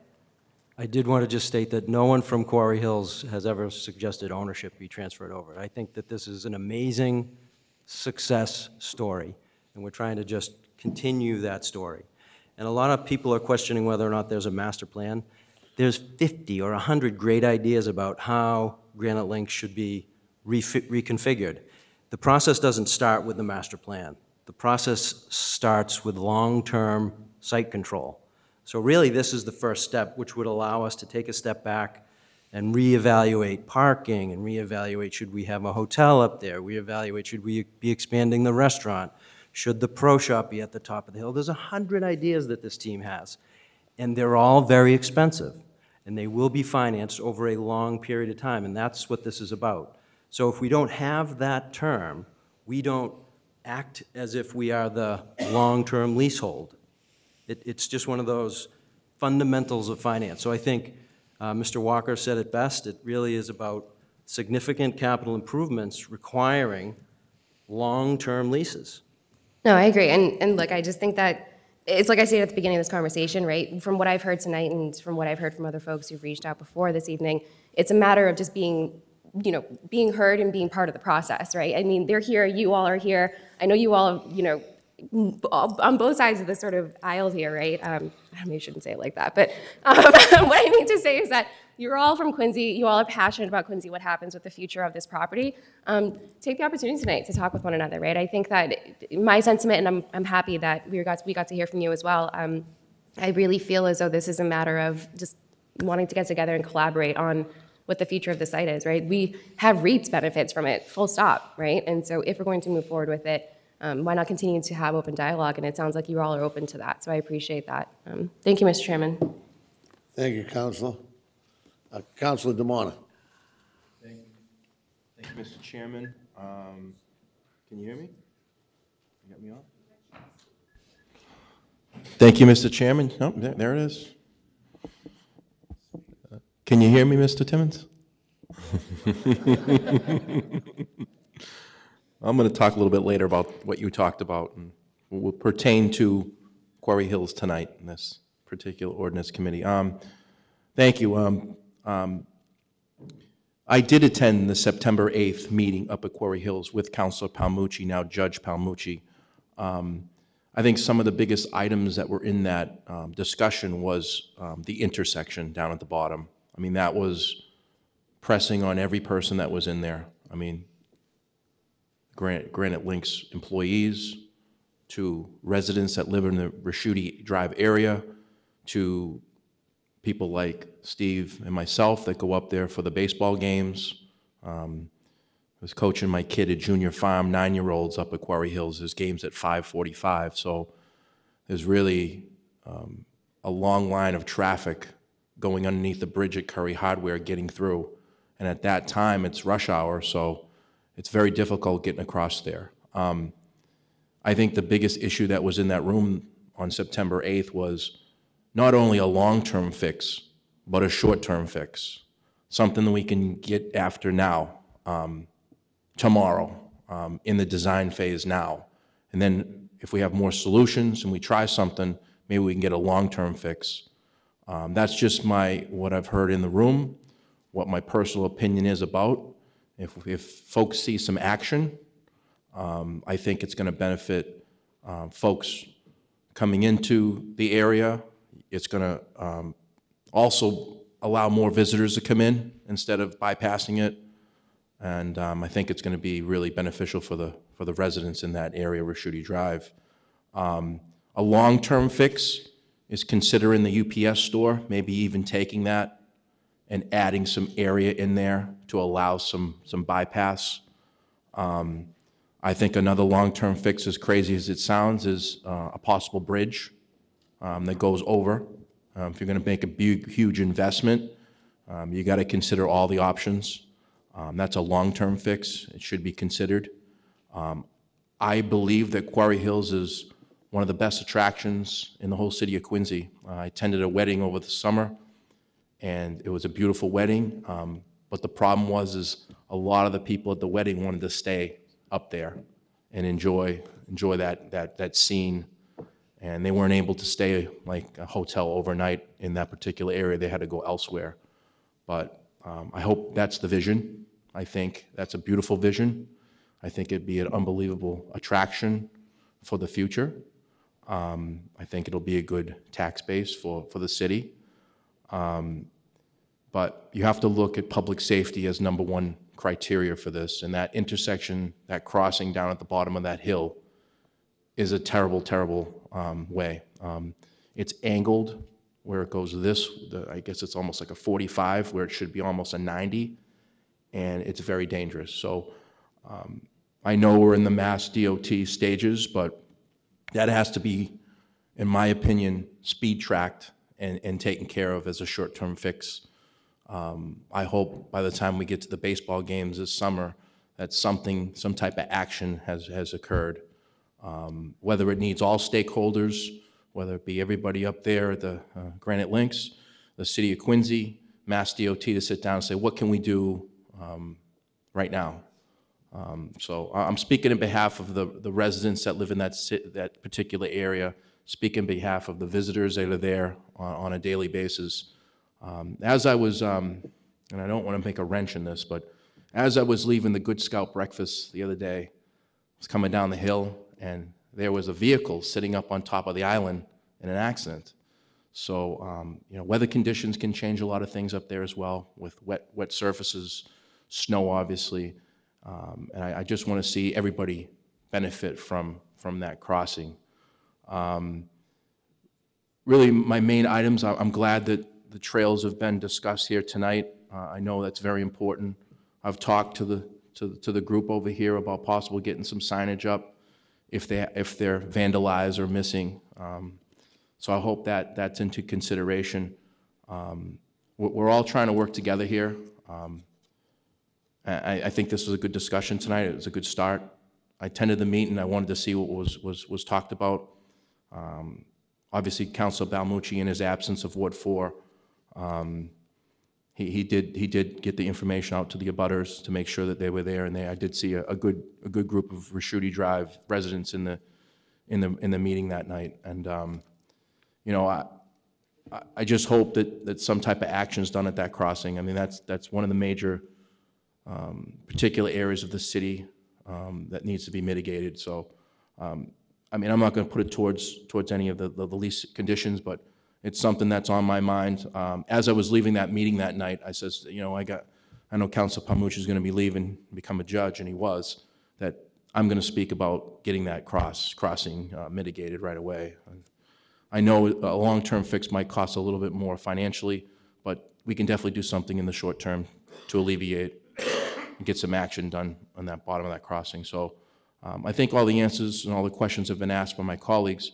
I just wanted to make sure that, you know, we're all on the same page with that crossing. I think it- it'll also benefit all of you, uh, and we all know that. Um, And and I want to make sure that everybody at the table, all the stakeholders, get a chance to, uh, to weigh in on that and get that speed track. So that, that'll be my, my top priority for, for this particular um, um, vote. So, thank you. Thank you, Mr. Chairman. Thank you, Counselor. Um, I'll just, I'll wrap it up a little bit. Um, I love the idea, uh, Mr. O'Connell, of uh, possibly working with Judy and the Blue Hills folks to come up on a Saturday or maybe a late Saturday to take a little hike or take a little, you know, peek. You know, whatever day is good, we don't get hit by golf balls. But um, uh, I'd be open to that because uh, what you guys have done, the Hannons and the O'Connells, um, I I said earlier, I, I was on that advisory board. Mayor Phelan put me on in 2002. Um, uh, Brian Conley appointed me on there. When we first started, there were 80 people on. There were people coming out of the woodwork because number one, it was the dump was going away, and number two, it was golf. Uh, it dwindled down to the local folks in the Ricciuti Drive area, but it was a good board. And um, I also worked for a landscaper in Milton for a number of years, so I was in that that dump a lot in the in the back road there, um, uh, in on the Milton side, and and for what it's transformed. Every time I get to that point, when I'm trying to find my ball in the woods, up there, I, I start to laugh because, uh, you know, it was miles and miles of trash. And um, Walter uh, Jr., uh, his dad and I would always have long conversations, but one of the lines, and I, I mention it all the time, was to one of the uh, abutters in Milton as it was going down, and everybody was kind of complaining back then, also, it's a dump, you're gonna turn it over, it smells, everything else, but Walter Senior had that comment of, well, if you give us some time, there won't be seagulls flying over your house, there'll be golf balls. And that's on hole six on the Milton side. And, uh, and it's just magnificent. To work in a way, um, you know, for the existing trails, you know, signage, or, and go up with the Blue Hills group to take a look. Um, I'm, I'm, I'm wide open to suggestions. I know the administration is also. Uh, all the points, uh, you know, the fields went in. I went up there when the fields were brand new and, and, you know, being capped, we had difficulties for the longest time. There weren't lights up there. Uh, there was a battle on that with the cap and everything else. Um, you know, the, the entrance in, uh, coming up off of Ricciuti Drive and then, and then the exit too. I know these are all things that can be tweaked and, and taken care of. And, and, uh, just FYI for the councilors, there are 45 trails up in the Blue Hills right now and 125 miles of, of trails up there. So, um, you know, this just, I don't know if this is included in that number. That's a pretty big number. So, and Blue Hills, as uh, Mr. Perdio said, is, um, is, is, is very, it's used often by, uh, by everybody in the surrounding area. I also received, just for the record, uh, the written communications that'll all go into the record. And I received a lot of emails from folks in the Blue Hills and concerned constituents, pretty much the same. I mean, this group here kind of um, the, the issues um, of, of the, um, of the trails and some of the concerns. And I, I think the administration and, and the council, along with Quarry Hills and the, and the residents can work it out. So um, we'll uh, keep this in the ordinance committee. We'll, I'll hook up with you, Mr. O'Connell. We'll talk and we'll, I'll talk to Judy and whoever the lead person is and we'll put something together sooner than later and uh, get up there before it gets cold and, uh, and take a, take a, a walk around and talk because it's, a- it's, it's just a, a big positive. Uh, John Rutherford went on and on and at the end, um, you know, he nailed it. Uh, so, uh, you know, it's just a big plus, a big positive for Quincy. So with that, I will um, adjourn the, uh, the meeting and we'll go to the full council meeting. Thank you very much, folks. Thank you guys for being here.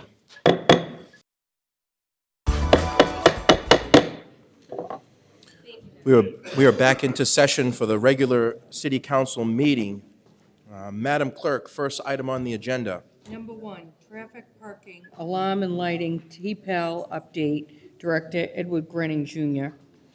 Thank you, Madam Clerk. Before we get started, I just want to let the councilors know we're, we're going to be installing um, Rule 10, which is each member will be allowed up to 15 minutes uh, for the first round, and then for the second round, everyone will get five minutes.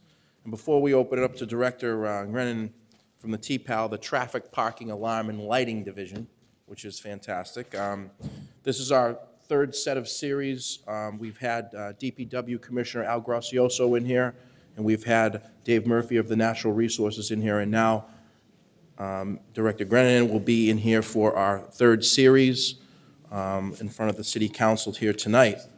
So with that, Director Grennan, you have the floor. Counselor, Counselors, President DiBona, thanks very much for the opportunity to present to you tonight.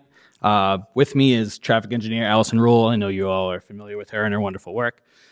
So we want to just give you a rundown of things that we have going on in the department. We don't currently have any um, bonded capital money, but we do have a number of initiatives and projects that we're working on that we're excited to share with you today. So we're going to kind of break it up into four categories of project and initiative safety, capacity, bicycle, and transit. To start with safety,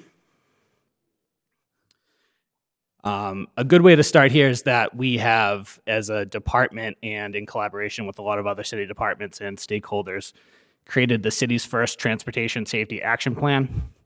And what that is, is a, uh, basically a playbook for strategies and um, a master plan to look at uh, some deficiencies we have in the city and how to tackle those. So um, the the plan creates a, a playbook to move towards the goal of zero serious injury and fatality crashes by 2040. That is an ambitious goal, but it's one we think we can meet.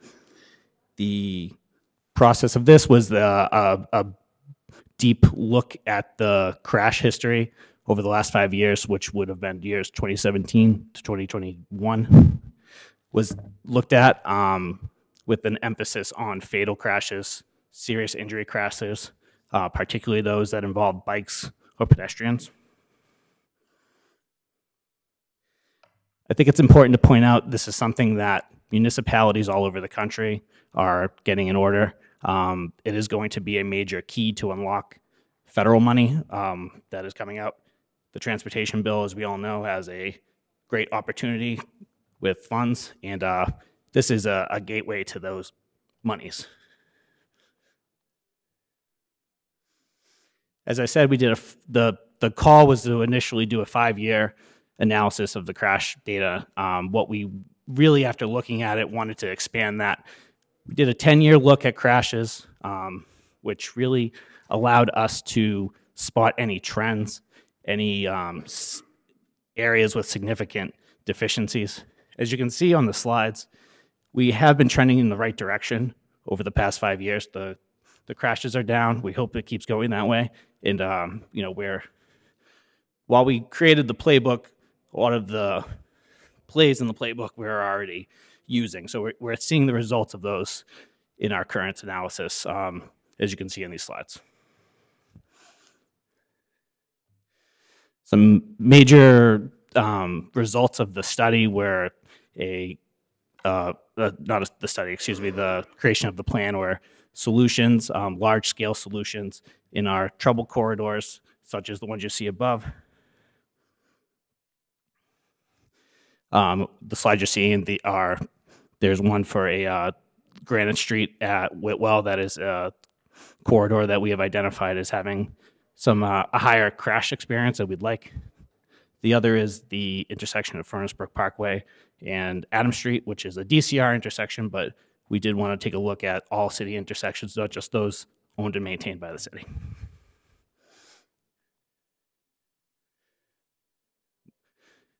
Moving from that um, to talk about some of the projects that we currently have ongoing. I know that you have all seen them across the city, the speed feedback signs. The, there are 36 that have been installed on 24 streets. We have 12 more units that are going to cover six streets funded. This has been a very popular initiative and something that we've seen great success and great, um, great feedback from the residents from. RRFBs, the flashing pedestrian crossing signals that you've seen pop up all over the city. We have 27 of those installed.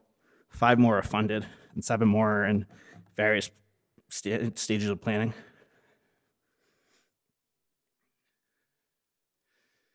A project highlight. So this is Quincy Avenue. Um, this is a little bit of an older project, and the reason we wanted to include it is that we've had a lot of time to reap the results of this. This was a corridor that had a lot of crashes, a lot of serious crashes. What we did here is we road dieted it. We went from four lanes to three lanes. We added bikes, uh, bike lanes. We added pedestrian crossing facilities. Some results of that, uh, they've been encouraging. There's been zero serious crashes on this road since this has gone in. A more recent project is the intersection of Southern Artery and South Street. This was funded through a grant from Mass DOT. What we did here is we did a uh, curb extension at the corner. What that has done is slowed the turning speeds of vehicles turning from Southern Artery to South Street. It shortened the crossing distances, and we made total ADA upgrades, new APS buttons, ADA ramps. Um, this is something that we're excited to see the data from as we go over the next couple years. What you see in front of you here, this is a um, indication of the pedestrian data that we're able to get from our detection cameras. We have Miovision detection cameras that help us in detecting the traffic. They provide remote monitoring so that we're able to respond to issues in the field from our office. But another benefit of that is that it provides all sorts of data and analytics. Um, you know, so I wish I had my glasses. Um, so you see pedestrian counts, you see pedestrian delay, pedestrian compliance, other sort of risk indicators that allow us to make decisions on changes that should be made at intersections. So we have these cameras in 44 of our 110 intersections, with an additional 18 being funded through mitigation and grant funding, and no city dollars spent on those. Safety improvements, some education and outreach that we've done. We've partnered with Mass DOT, the Traffic Safety Division, to um, be part of a couple of campaigns that we're, we've been excited to be a party to. Um, this one is Be Seen, Be Safe. We distributed um, reflective strips and educational materials, a couple schools, a, a few local businesses. We've also been party to safety videos that have been put out by the MB, excuse me, the Mass DOT. Um, we're revamping our website. We're currently in the process of getting that a little more legible for our residents. Um, you know, we're going to add some project profiles that are, uh, you know, one sheet, easily distributable um, profiles that really tell the public what we're doing and what the benefits of these projects are. Some upcoming projects. Um, some of these are not directly overseen by our department, but we will certainly be extremely involved in it. Um, a couple that we'll point out, key ones, C Street, the soup to nuts reconstruction of the road. That's from Quincy Shore Drive to Palmer Street. Uh, there's multiple key into key intersections that will go through there. Um, bike facilities, pedestrian upgrades. We're excited about that. Uh, we are Ricciuti Drive at Willard Street, the off ramp that got a lot of uh, questions. And um, to give you kind of an update where we are on that project, the, the project's at 25% design. We had a comment resolution meeting. Um, the next step would be to schedule with the DOT a public comment meeting. We're anticipating that will happen sometime January or February of this coming year. From that point, uh, after all the comments are brought in, the uh, you know the design team will get back together. It'll move towards 100% design. At that point, it'll be turned over to DOT for funding. A little bit of a backstory on Ricciuti Drive since it did come up. Um, this has been in discussions from the city side since 2018 that it was brought to the state. We said, hey, we think that we have a problem here. What the state basically said is prove it. We proved it. They didn't want to touch it unless we could prove to them through analysis that there was a warrant for a signal to be there. Once that was proved, they basically, you know, started to work with us on, um, you know, a, a traffic audit, a safety audit. Uh, we have a firm, Fuss and O'Neill, working on the design that we are party to. We have basically assumed the uh, the burden of proof in design for that intersection. We're very much looking forward to getting it to a point where we can hand it off to the DOT for funding and construction. Some projects on the horizon from the city side. We recently received a $366,000 grant for Washington Street. That is for upgrades to the transit signal priority um, and bus network, um, some to make the buses more dependable, better to use, and also gives us a good opportunity to upgrade our detection in uh, that corridor on our traffic signals. Uh, Adams Street at Whitwell Street, traffic calming, visibility treatments for pedestrians. We've had um, a public meeting on that with Councilor Phelan. we have some uh, great feedback from that that we're incorporating to a, as we move towards a final concept and design on that. And then West Squantum Street is another grant, um, I believe just over 200,000 that we received for pedestrian improvements over at the intersection of West Squantum, Fayette, and Arlington, uh, excuse me. With that, I'll turn it over to Ms. Rule.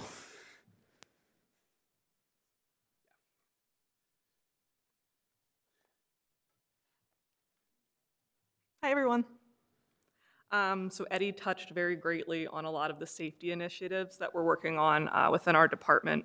Um, and I just wanted to talk a little bit about, you know, traffic volumes in the city. uh, traffic volumes in the city, and um, what we're doing to help move traffic. Because obviously, we want people to move safely, but also efficiently through the city. I know that's a big concern of residents.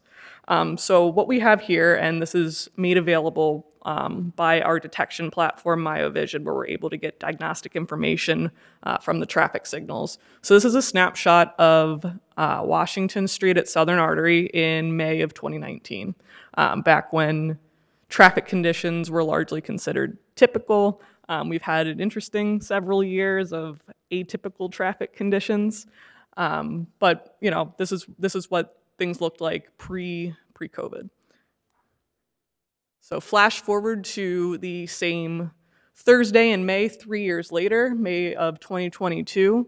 Um, we're seeing an increase in traffic, but generally traffic patterns um, have been restored to normal or greater than normal conditions or greater than 2019 conditions. Um, very noteworthy is the increase in multimodal travel. Um, in that time frame, we did add bike lanes on Washington Street.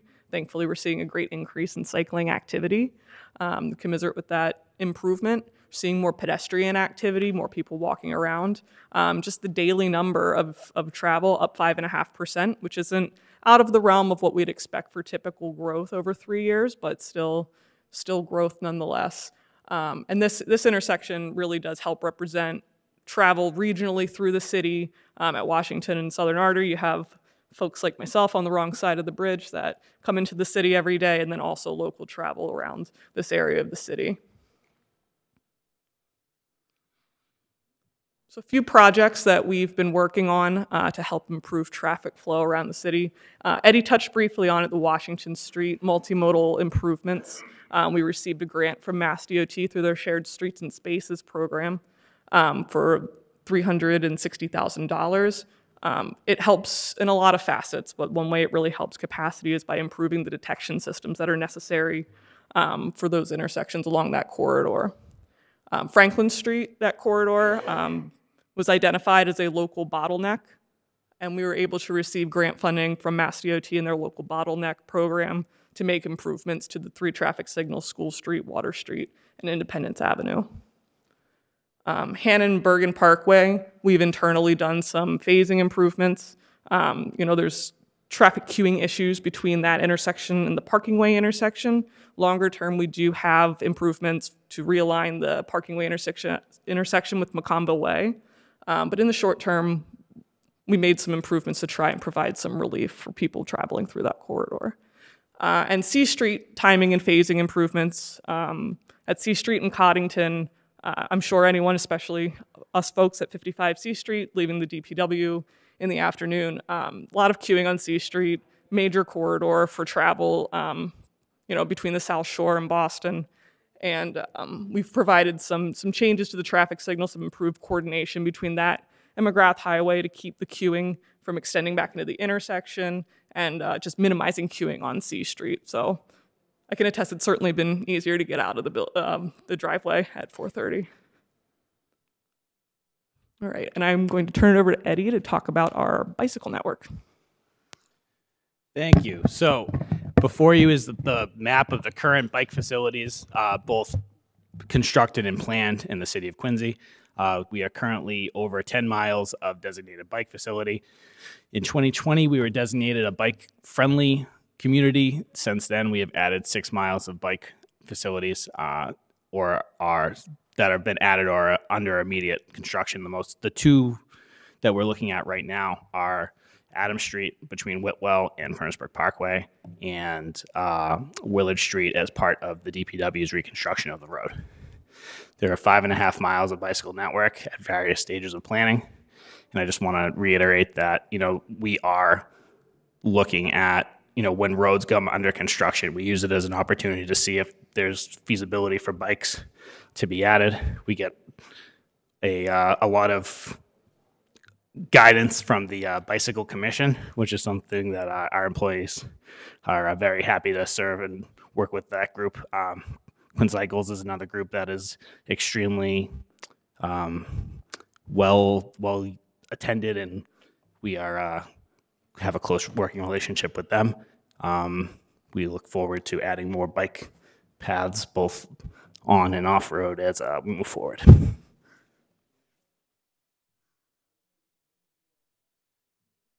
All right. You're so much taller than me. Um, just to touch briefly on some of the transit improvements that we've been working on. So just to take um, a small step back to 2018, um, this council provided us funding to do traffic um, technology upgrades at several of the intersections. And included in that was an emergency preemption system that's GPS based that we have at several locations across the city through conversations with the MBTA and the um, manufacturer of that equipment, we found that that GPS unit's also able to communicate with the automatic vehicle location system that's in the MBTA buses. So we've been working on transit signal priority, um, which basically the GPS unit has zones that are programmed, and as the bus passes through those zones, the signal takes in that information, sees how close the bus is coming, and then try, tries to hold the signal green until the bus passes through. Um, the key thing that uh, you know the MBTA gets in feedback is people don't want to take transit because they don't feel that it's reliable. They don't know when the bus is coming. They don't know how long their trip is going to take. Um, so this is an initiative to try and help improve that reliability. Um, and I would just note that we are um, a leader in New England for transit signal priority. The MBTA is also uh, using Quincy as a case study for um, a paper to be submitted to the Transportation Research Board. So we're very proud to be on the, uh, the front end of this technology. And with that, um, thank you for allowing us to present, and we'd be happy to answer any questions you may have. Thank, thank you. Before I open it up to my fellow councilors for comments and questions, um, Director, I just want to thank you for bringing in the traffic engineer, Allison Rule. I see Ally all over the city walking around and checking on things, and I've seen her at all the community meetings. Really appreciate that because when I first got into the city council in 2016, it was very difficult to get the traffic engineer out of the office. So thank you so much, Ally. It's a constitute. Thank you so for coming out. So with that, councilors, I open it up. I'm going to go. Um, Council McCarthy, you have the floor. Uh, Thank you, um, Mr. President. Ally, Ed, uh, thanks for coming. Um, Really no questions, just a lot of thanks uh, for the countless meetings that I've come down to the office, uh, you know, and all the projects that we've dealt with. Uh, I know Sea Street will be coming up in the next couple of years, which will be a big project. Um, There's been a lot of action in Ward One, but um, all the small things do count. Uh, Signage, uh, working with me with the MBTA stops, everything under the sun that I either came down to talk to you, Ali, about traffic, or Ed, you know, in the many conversations we have on, uh, on different things that get taken care of within, you know, 24 hours. There's somebody down there, um, not only addressing the, the issue, but possibly even talking to the resident that called up. So, um, I know the Ward One folks, uh, uh, have been very impressed with some of the things we've done and, and some of the things that are tough to do. When an intersection that's busy and they want everybody to go slow and everyone to, you know, obey the stop signs. You know, We've, you know, got a little uh, creative at different places um, without uh, really um, putting too much signage up, and uh, I think it helps. So uh, Ed, it's been a big plus in Ally. Uh, You know, I enjoy both, uh, both you folks working with you, and I- and I know, you know, when you get something, you run with it, and it, you take care of it too from A to Z. So thank you very much, and great presentation. Thank you. Thanks very much. It's a pleasure working with you. You know, we're lucky to have the staff that's been in place to be able to respond to those things as quickly and as creatively as you put it uh, sometimes, so we're very lucky. Councilor Liang, you have the floor. Thank you, Councilor. Um, I just want to quickly say and, and start with that, you know, when Chris Casani was with his department, he did remarkable things, I think, with it. But then when the two of you, um, you know, have taken it over ever since, and the team of people you work with, I mean, it's been remarkable to see the improvements across the city, um, the response rates to constituent concerns. I mean, it's just, I, I can't, I can't sing your praises enough, and so I want to start by actually singing your praises. Um, I just have one question for you. So, you all again are doing remarkable work, and if we could just put everything in your hands, that's kind of how I would just like to see it happen from now on. What I'm getting at is, I love the goal, and I think it's ambitious, like you said, to strive towards uh, zero serious injuries and fatalities by 2040.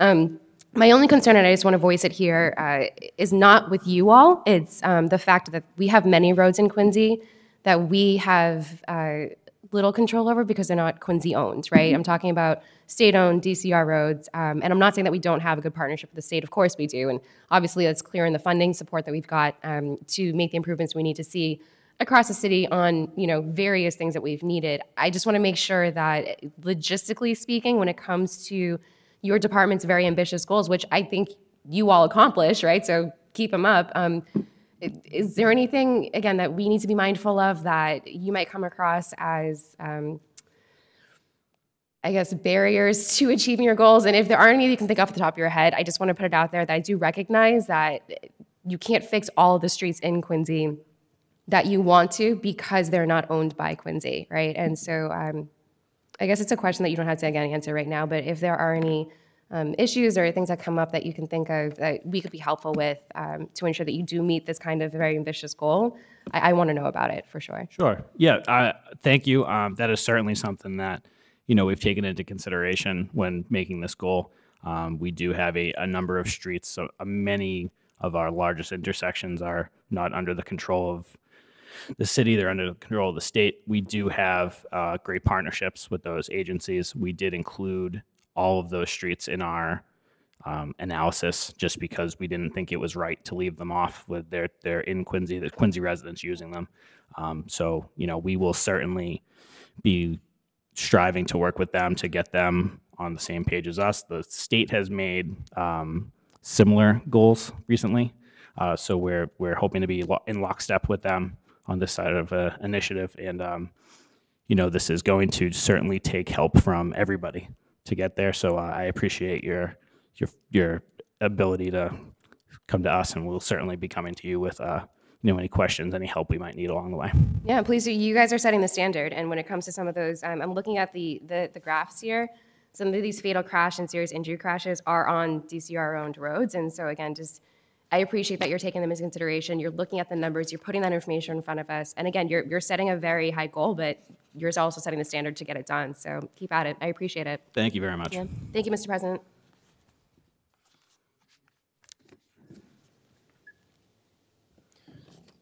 Counselor, you finished? Yes. okay. Uh, Counselor Andronico, you have the floor. Thank you. Uh, Ed, Ally, thank you so much for the presentation tonight. And I always love presentations that show a lot of data that can give us a, an idea of where we've been, where we are, and, and kind of where we're headed. Um, just comments pretty similar to, to Councilor McCarthy. Um, I think the steps that you and your department have taken um, have been noticed by at least my constituents. You know, I, I think when looking at that map, uh, a lot of Ward Two, um, and sort of the big four over there with Washington Street, Southern Artery, Franklin Street, and Quincy Ave. Um, you guys have taken a lot of steps to improve the safety of those areas in particular. And I know it's always a work in progress, and usually when I give at a call, he says, "Oh yeah, we've already thought about that, and, and here's kind of where, where we're at and where we're headed." Um, so that's greatly appreciated. I always I like to know that when I pick up the phone to give you guys a call, that you'll get right back to me uh, about these concerns. Um, just keep doing what you're doing. Uh, we really appreciate it. Thank you. Thank you. Hold on, Counselor. Council Mahoney, you have the floor. Thank you. Thank you very much for the presentation. So um, I'm just going to go over a few things. And um, I noticed that in your presentation, that- so one of the things that we didn't go over was, it's, it's just, you take care of so much that's going on in the city, but also the garages and Quincy and the Sure. parking. So I didn't see that in the presentation. Sure. We we kind of looked at this as more those are ongoing um, operations. We wanted to kind of focus on the uh, the improvements, the the project initiatives that we have going on. So I think uh, the initial request, though, was like anything that brought in revenue, anything that was costing the city to be able to show the budgets. And I'll have to give an A to the DPW because they actually came in and said, this is what the cost of these projects were. Not that you don't, because you said at the beginning that you don't necessarily have budgets for these, but we do have Fuss and O'Neill that's being, um, who's, who's charged with some of that work. Where is that money coming from? How are we accounting for those types of things? That was what the initiation of this kind of conversation was. It was it's it's also about all of the projects, but it's also about, you know, the finances of what you're doing and how you're getting these things accomplished. Sure. So, it- and it's, it- it's just, it's just, a you know, I- I- the same thing happened with the, um, the Commissioner of Natural Resources, you know, he was mentioning it as he went, but it's just, it's easier if we can have that kind of broken out as to like, where, where is that coming from? Like, I know like when we were meeting with Whitwell, the Rotary part of Whitwell, it was identified, I think, that there was some mitigation money that was coming from um, Fox Rock, but it was, I think it was, I don't think it was completely, maybe you can answer that. Fo- Is Fox Rock paying for the Fuss O'Neill study that we're doing for the Rotary, or um, is that coming from the city, at some other place in the city? Sure. So, uh, yes, the mitigation funds from the 114 Whitwell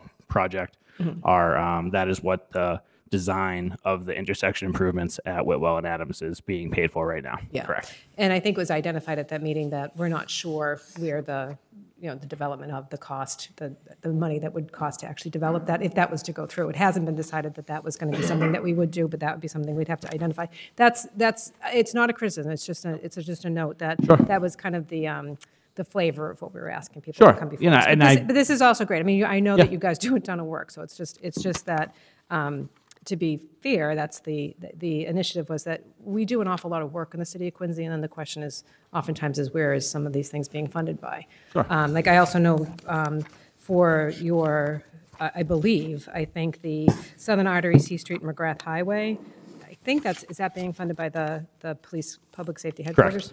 Mhm. I mean, it, again, this would be for transparency for the departments, what you're working on and how it's interacting with some of the bigger projects that we're working on.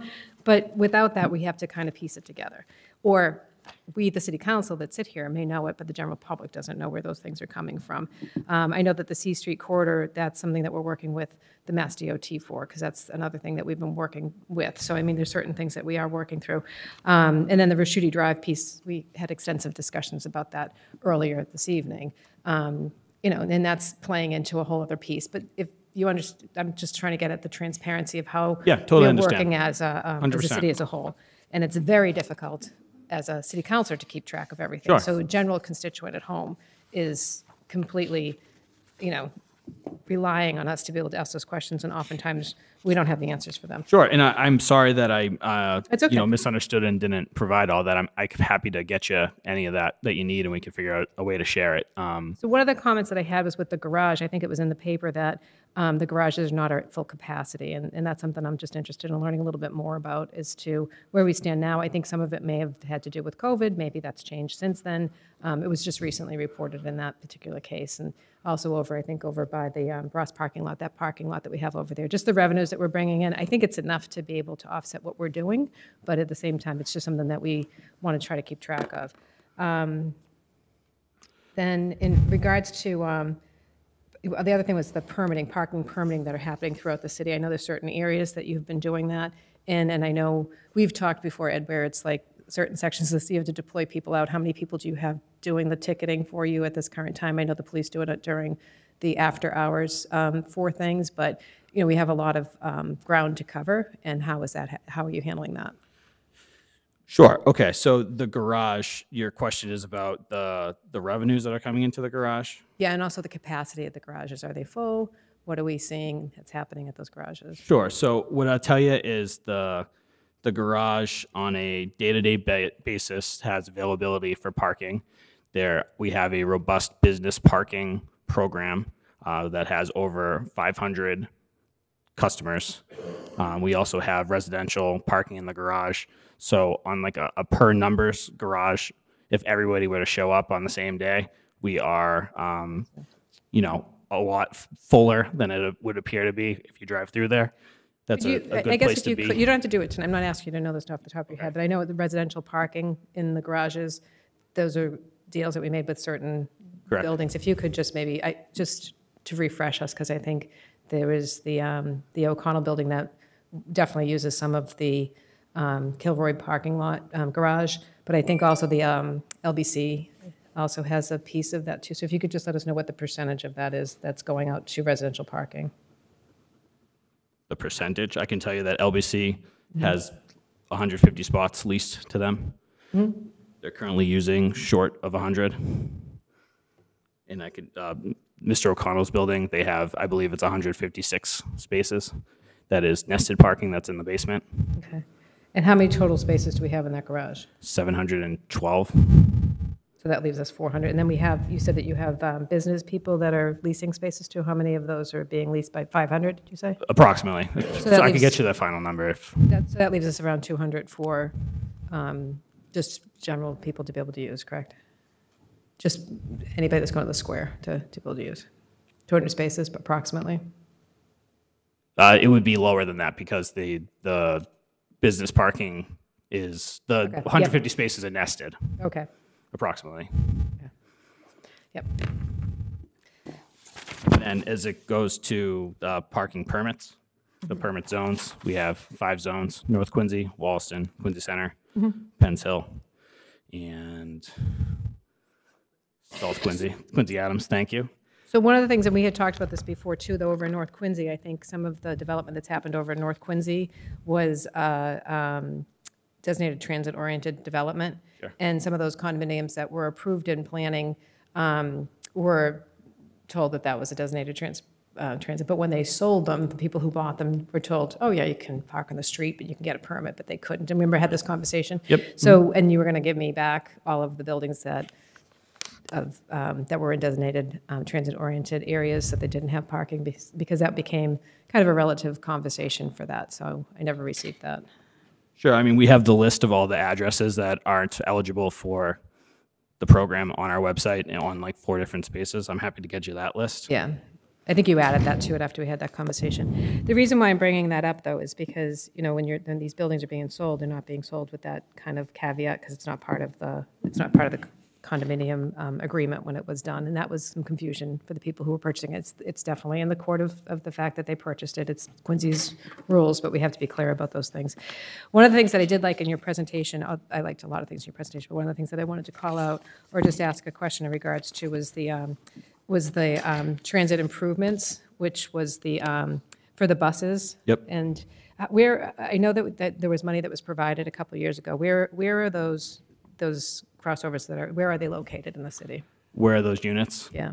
Uh, in Quincy Center, you, you would probably be, they're throughout the center. Um, we've added the extension coming down Washington Street is where the grant that we just recently received is targeting, Mhm. wrapping around to um, South Street, Howard Street, that direction.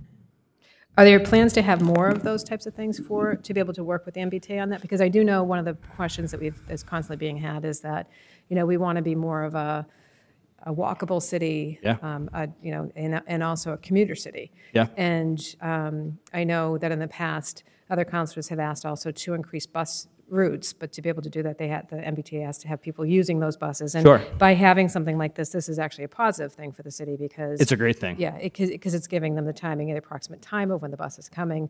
I know when I travel to other, other um, cities or other parts of the, that, other parts of the country that you, you know, you, their transit orientation is, is fairly well, like it's a, a well machine. And that's not to say that we're not doing it, it's that, it's also the MBTA that needs to work with us as well.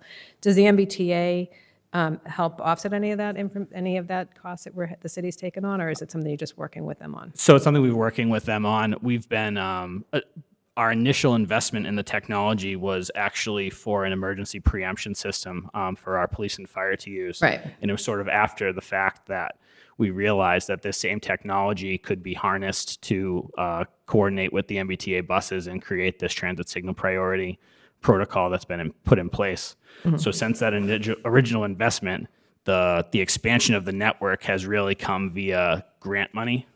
Um, so that is how we are getting these things in our cabinets.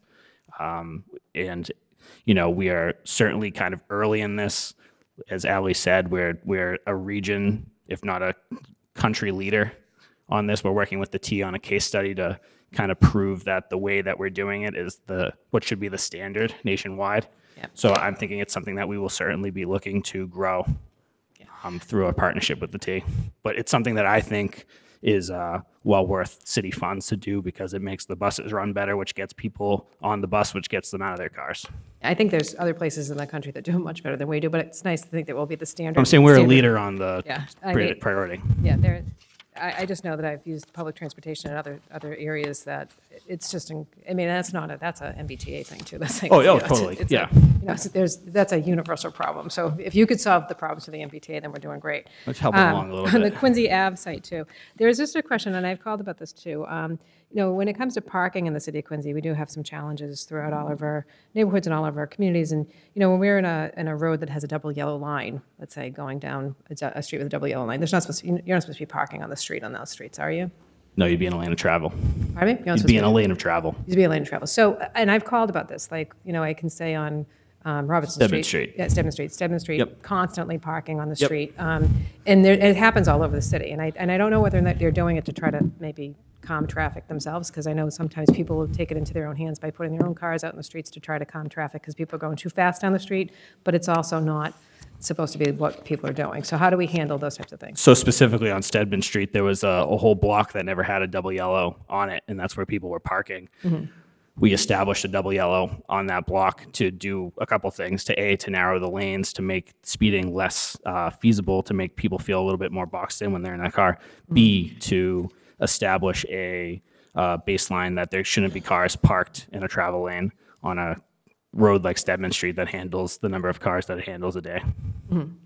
And that, and that happens, again, this is, it's, it's demonstrated, but I- I've noticed it, and actually, it's funny, because in one of your presentations, you actually have somebody parked on um, the double lanes, a double yellow. It's kind of off to the, the bike path is going down, this car kind of kitty cornered on the, on your picture.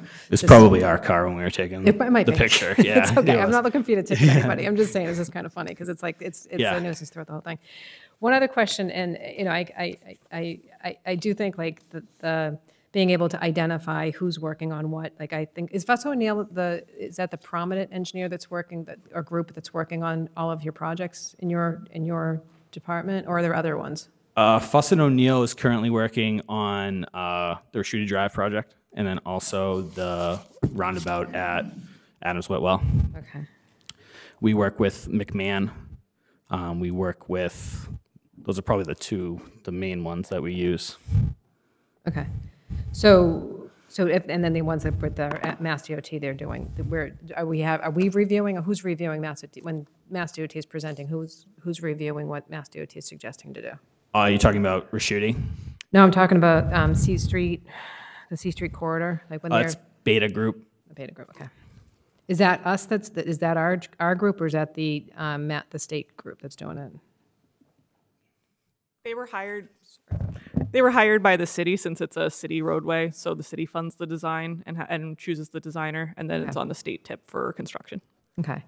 And then, um, and who's doing the Southern Artery, Sea Street, McGrath Highway? Who's, who's working on that one? Southern Artery, Sea Street to McGrath, Access Management and Medium Division, Public Safety Headquarters? Those Woodard and Curran. That's Woodard and Curran, okay. Okay. Um. So the last, the last, the last question that I have, and this is just a, this is, this is again where the interconnectivity happens within the departments. We talk about interconnectivity, but I'm not sure if it's really happening. Um, And that's not a knock to anybody, because I think everybody has a lot of work on their plates, but, but when we're seeing, and I've seen this through zoning and planning, when people are presenting, every time you have a development that's being presented in the city of Quincy, it's presented with the intentions that there's a traffic, sometimes there's a traffic engineer that's presenting, sometimes there's not, but there's gonna be zero, no impact to our streets in the city of Quincy. And we're adding a ton of um, cars potentially to that area. And it's, it seems to me that when we said, like, when you had your piece in here where it's like in 2019, prior, prior to COVID, COVID, and in 2022, we see an increase.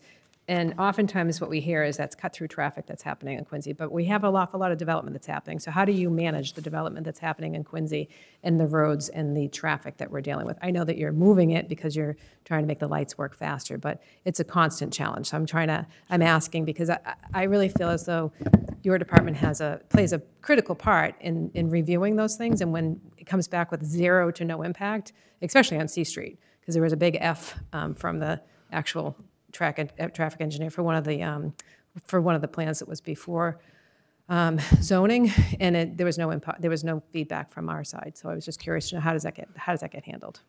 and it was because it was at 5 o'clock at night, and you were describing Sea Street to us about how hard it is for you to get out at the end of the day, but you've changed the, the, um, the lights and how they work. Sure. So I, I think that's a multi-part question. I, what we do is we are certainly part of the planning review process when Mhm. we get we get these plans uh, sent to us. It's part of our purview to to comment on that, to sniff out anything that we don't agree with, to advocate for the city and for its residents, to mitigate any sort of um, you know disturbances that we think may come from new buildings, new whatever is going in anywhere. Um, I think Ally could probably speak to this a little bit better as far as um, the result of the traffic study. I think when they say the little to no impact, it's in the, you know, the scope of The plan. you know, and it's in the scope of there being already at that intersection tens of thousands of cars a day.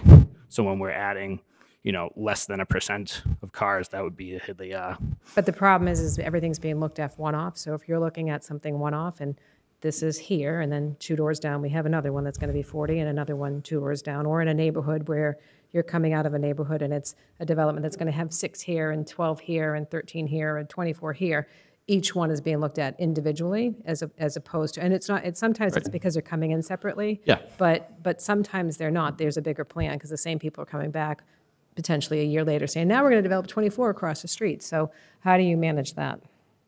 we manage it that we are the ones that are looking at it as a whole, kind of knowing what's going where and using our strategies that we've established both, you know, before and during this process with the safety to make sure that, you know, any additional growth that comes that we are ready to handle it. We are ready to make sure that any pedestrians that are coming to this project are adequately taken care of. Any that there's bikes, that there's bus facilities, that there's, you know, that we have room for growth. It's important. Did you want to add anything to that? I think you look like you, I I don't know, you look like you were, you look like you were trying to add something to it, so I'm not sure. Sure. So um, I, I review, I'm having difficulty with this microphone tonight, I apologize. Um, I review the traffic studies and, and developments um, that come in through planning and coordinate with the planning department Mhm. um, on my findings of it. Um, I guess the key things that I look for when I'm reviewing it, firstly, is everything that they've done correct to the appropriate engineering standards. Is the trip generation consistent with ITE standards? Is there So when you know, see somebody that's coming in and they have a, they- they may not have in the plan an F rating, but then the, the, the traffic engineer then says there's an F rating to it. Is there any time that you kind of, in a presentation, do you, do you kind of go back and go, wait, they didn't have an F rating there, but they're saying it's an F rating at five o'clock? I mean, I just, I'm asking this question because I think sometimes what's presented is one thing, but then if you actually go down and you're the traffic, you guys work in traffic, so you'll know. But I mean, very often we're we're creating. You often hear, "Oh, it's not. This is this is a cut through city. It's not. It has nothing to do with all the development that's happening." But we're creating some of the problems that we have here. And I'm just I, I'm not anti-development, but I am questioning. You know, when's the check and balance happen when it's happening within a corridor or within a certain section? Because we can only handle so much you know so much more and then we're gonna we're creating that we're creating our own problems we're creating our own our own issues so i'm a little confused when you say like uh, it's one off and we're still looking at things one off when we should be looking at things a little bit more holistically on streets because the lights can only handle what they can handle i, I, I just I, I need some form of an explanation for that if you can Sure. So I'm they're following engineering standards for what they're including in their studies, and sometimes it is a little bit one-off, right? They have a capture area that you know I think it's within five percent of traffic increase anticipated for an intersection that they would include that as part of their study area. And for larger developments, we'll have some kind of scoping meeting where we you know discuss with the developer what we'd like to see included and analyzed, and what our expectations are to certainly set the expectations early. Um, Could you in tell their me one future projections, they would be required to include any development um, in the surrounding area to Mhm. be included in their analysis. So as it relates to, you know, Sea Street, for example, if there's another development occurring down the street Mhm. um, that comes in after another development, they would need to include that development in their analysis for their future projection. So then they baseline that future projection and then look at the difference between build without with and without their specific project. And that hap- that ha- that helps, Sally, because I think I think that's what I was getting at. Is like it's a little it's a little one-sided when everybody says there's no impact to traffic. When everybody can look at it and say there's definitely an impact to traffic. I mean, there are people who live in our city who can basically say, I used to be able to cross the street and not take my own life in my hands, but now when I try to cross the street at a light that's red that says that I, that I have the crosswalk, that I'm still afraid to cross the street. Or I know we have bike paths throughout the city, which I went out for a ride on Saturday with Quinn with, with Quinn Cycles, and I was like, you know, riding to meet you was scary. Riding with you was not. but like riding as a singular rider in the city of Quincy, it can be a little intimidating because because cars just kind of ride up the back of your heels and you're riding in the path that we're supposed to be riding in or the path ends and then it's like well where do i go now or you know like somebody had brought up to me you know the general's bridge has the um, has the bike paths and it tells you to take a right onto Burgin parkway. Burgin parkway is a highway so you really can't take a right onto Burgin parkway. So that safety wise you have to ride on the sidewalk even though you're not supposed to ride on sidewalks if you're a bicycle rider. But you would never ride anywhere else because you die on Burgin Parkway if you rode your bike. So those are the types of things that when you're seeing these things, and I know that you're working towards those things, but it needs to be clearer what we're what we're accomplishing. And then also when development's coming through, I've yet to ever hear that our TPAL has pushed back on any of the development as far as traffic engineering that's coming through. Yet when the question comes up, or people talk about traffic in our city, what we hear back all the time is it's cut through traffic, and it's been going on since the forever but we're creating it too. So we have to own we have to own some of that as well. So I'm just I'm I, and that's I, I'm not going to drive this nail into the coffin any further. I'm just trying to say that that's something that we need to be a little bit better about how we're doing this. I think you do a fantastic job, but I also think you have a very challenging job as well because you know you're inherently taking care of the things that are being you know, created and handed to you because the traffic is going to come from those things. But you have a say in it too. But can you think of any projects that have come before us where you've pushed back and said, no, that's a bad development because of what's going to happen to our streets?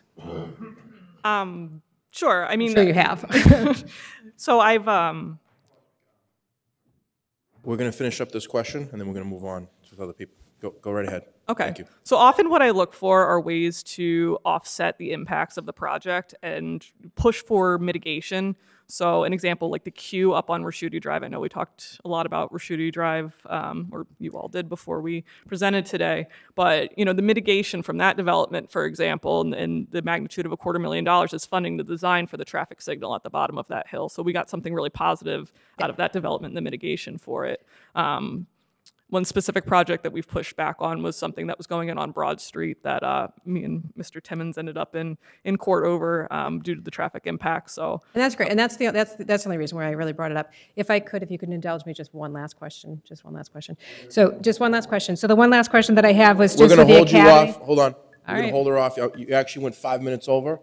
Are the Other colleagues still want to discuss, and we'll go back to you for five minutes. So hold that question, that one question. Okay, thank you. Counselor Harris, you, you are and then me. So, so let, I, I I yield to, so, so the trend of thought is the conversation, okay? Minutes to uh, wrap up her, her de- deliberation. It's not, it's not going to take five minutes. So I thank you very much. And that was not meant to be a knock. It's just meant to be like, it is a, it is a huge concern. People do not think that there's any pushback in the city of Quincy when it comes to things. And I know that there has to be. I can't imagine in the wild, my wildest dreams that there's things that come before you that you don't. Maybe there are things that you want to push back even further on, but you can't because um, for whatever reasons you can't.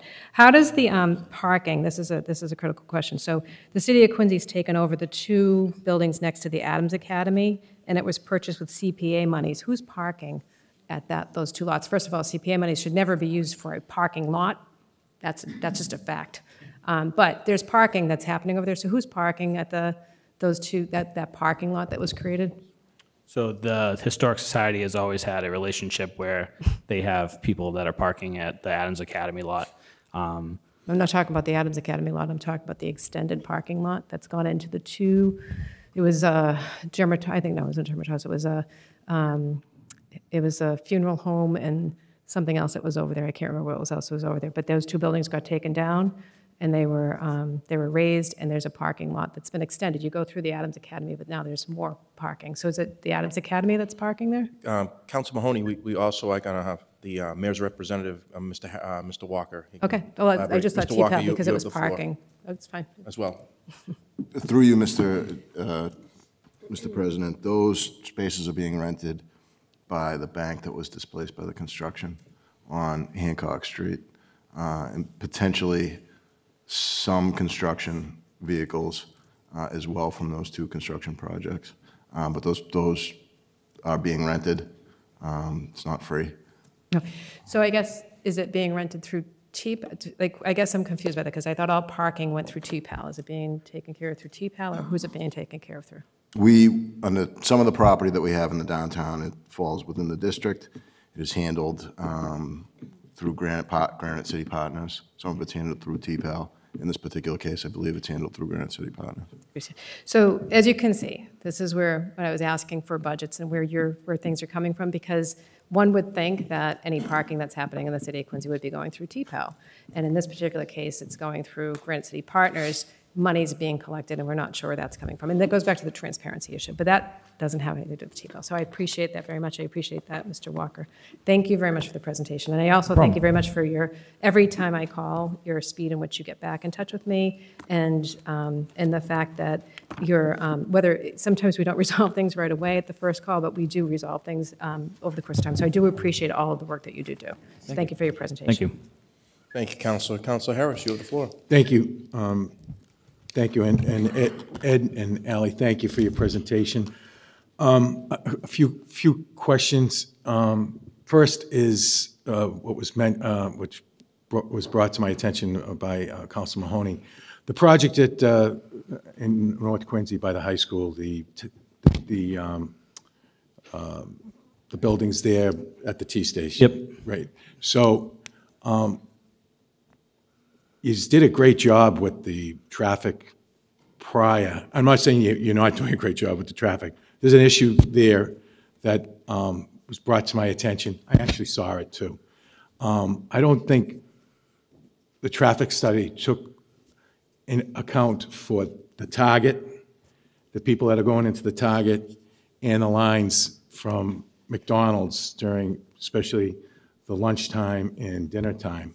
And it's causing backups that are uh, not only inconvenient, but are, um, can be deemed a safety situation where cars are going on the wrong side of the road to get around it, get around because they're impatient to get home, uh, rightfully so.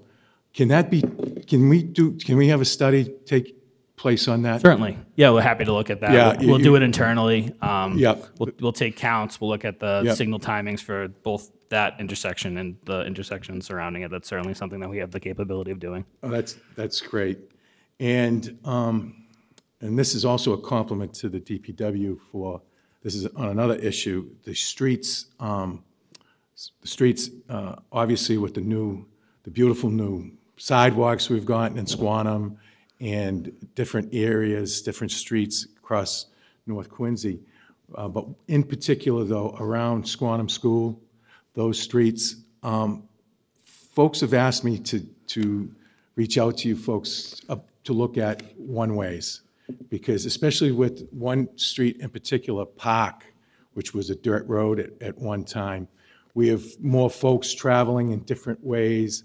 Plus, the streets are- are narrower. They're narrowed to begin with, but with the kids and being able to walk, especially uh, the streets around, that surround it, like Mayflower's on one side, and, Yeah. you know, if we could take a look at that and see if we can maybe, because I, I- obviously, I don't want to disrupt the neighborhood by, Sure. you Yeah, know, you know, absolutely. um, But obviously, I- I'd really like to see us look at that, because, again, especially, we're going to have, hopefully, we'll we'll be hearing about the, the new Squantum School. School, and i- if we can get ahead of that, maybe, uh, but uh, they just put those beautiful new, um, the new sidewalks in uh, alongside it. and- Yeah. And it's, it kind of. You know the story, yeah, yeah. You got it. Yeah, I, I am, uh, we hear it a lot. The, the DPW does, uh, all- admittedly, a wonderful job on the roads, and Yeah. people become accustomed over the years of Yeah. parking up on the sidewalks. Yep. Um, so this is certainly not a unique request, and it's definitely something that, i- Right. if you'd like, we could sort of lay out some options for you. Um, I, I would anticipate anything would be a, bigger neighborhood conversation, so. Oh, a- Absolutely, and that's something that, of course, I'd bring to Yeah. the neighborhood. the So we'll, neighbors. we'll start, and then um, we'll have a discussion about like the scope and all that. Happy to look at that. That'd be great, great. And one last thing um, is, uh, again, um, uh, Council Mahoney um, kind of uh, jotted something. um, The cut-through streets that are mentioned, in- in- that was mentioned in, especially in um, Ward 6, we all have cut-through streets, there's no doubt, Um, but especially that go down to the beach or go up from or down from the beach. Um, uh, Like, for instance, uh, I, I know that, uh, oh, Mr. Walker walks out of the room because we were talking about it briefly before, um, before you, when you were speaking. Um, But uh, here he comes back. So um, when I, I asked for help, and you've been great, we put signs, we've done everything we can, except for, I asked about uh, speed bumps. And way back when, before your time, both, both of your times, um, I was told that speed bumps were illegal, and they, they don't exist. But in my new, uh, for the last year, I've been driving around Boston because I have a new job, and I'm not, no longer here in Quincy Center, um, working. I'm driving around the city of Boston, and all these little streets that, that are really tight, uh, there's speed bumps, and they're cut-through streets, and they're brand-new speed bumps. So uh, was that a Marty Walsh thing? He was able to do whatever he wanted, or, or, or, uh, and dis- disregard of the law, or, uh, or, you know, or are they illegal? So I, it's a little wishy-washy. I think there's there's a speed bump versus a speed hump. Um, there, there's varying opinions over the effectiveness and if there's Mhm. something that even should be on the road. Mhm. What I would tell you is, from our standpoint, we don't think that it's a, a great solution. Um, generally speaking, from what we've read and what we understand, that the speed bumps kind of create just as many issues as they solve. They're loud, they damage cars, they're extremely uh, difficult to deal with in times of snow and ice. Mhm. Um, oftentimes, all it is is a temporary slowdown and then a get on the gas and go to make up your, your lost time.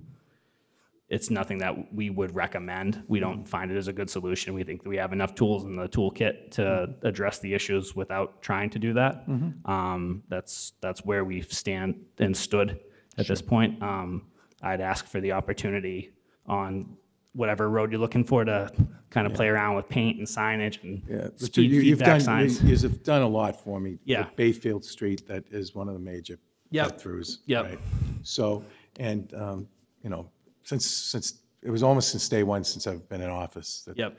Folks have, we've been talking about Bayfield. I was hoping after I saw that they- they were in Boston, we could think about it, revisit it maybe, and take a peek at it. we could we could maybe like revisit the idea of it, but it, it's not something that we think is a good option. And the data on Bayfield is actually encouraging with what we've already done.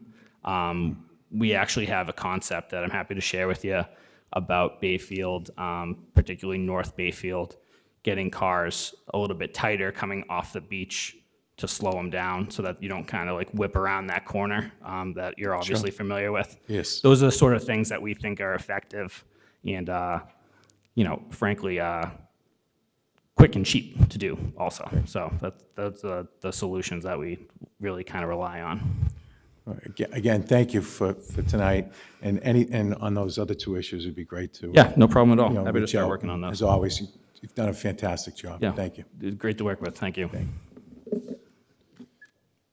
So Director, we, um, you know, traffic is the number one complaint that I get throughout the city. It, it really is. And with us establishing that T-PAL division, your, your, you know, um, traffic parking alarm and lighting, it's come a long way from the inception of, you know, uh, Mike Coffey and then Chris Casani, your prece- pre- predecessor, Hmm? did a really good job with getting out in the city and getting things done, and now you've done a great job in your role. Hmm? Um, It is something that's tough because we do, it is a cut-through city, um, and there's a lot of folks in the city just cutting through here.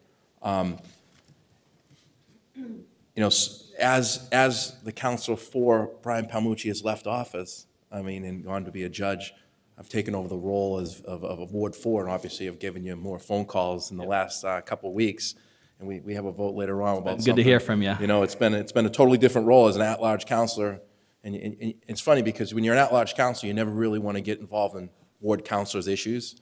So I can really tee off on Ward Four right now and not have to worry about one of the ward counselors stepping aside and say, you know, what are you talking about my ward for? So um, it's really, it's been a whole different experience as it is. But um, obviously, I've talked to you about Hall Place. Yes. Which is kind of that cut through. I know there's some construction on the other ends.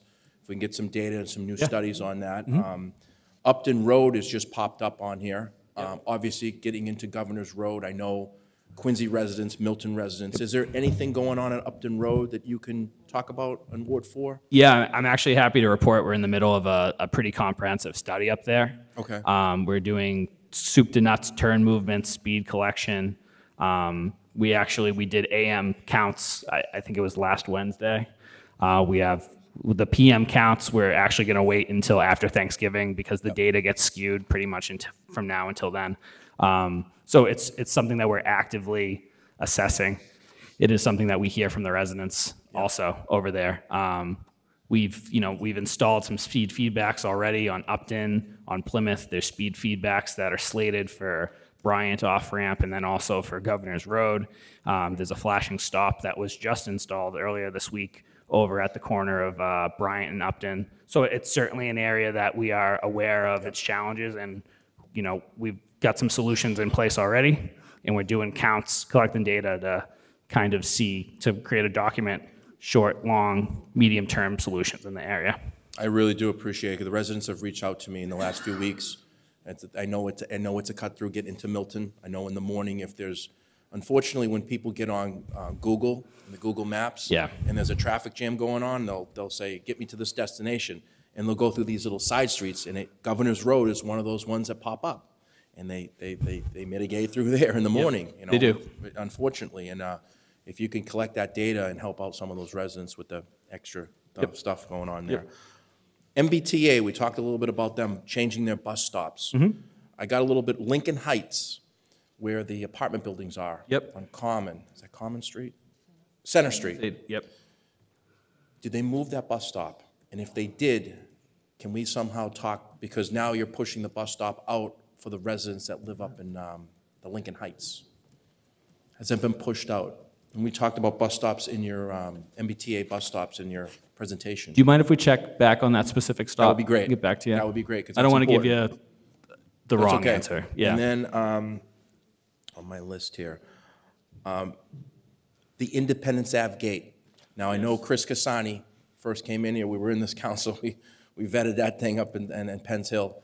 Um, As I've driven by in the last year or two, I've seen not as bad as flow. How, how's everything going on over there? Uh, we are comfortable with how things go on over there. Um, you know, we think that the procedures that we put in place, the intersection improvements that we made, made a, a difference getting out ahead of that gate opening. Uh, we're still ticketing over there. The tickets are more severe Yep. in that area than they are anywhere else in the city. Um, so it is something that we we have, we have done, and it, it is a strict penalty. So we feel as though it's not something that we get a lot of repeat offenders Yep. There's always going to be people that try their luck with it and go over there. The, the neighbors over there are extremely diligent in what's going on in the street. They're letting us know, uh, saying, like, listen, I think there's somebody coming over parking from the T. Sometimes we find out, we go over there and it is a neighbor, it is someone that has a permit, and it's a false call, um, which is fine because we'd rather be safe than let that neighborhood um, go how they thought that neighborhood was going to go in that.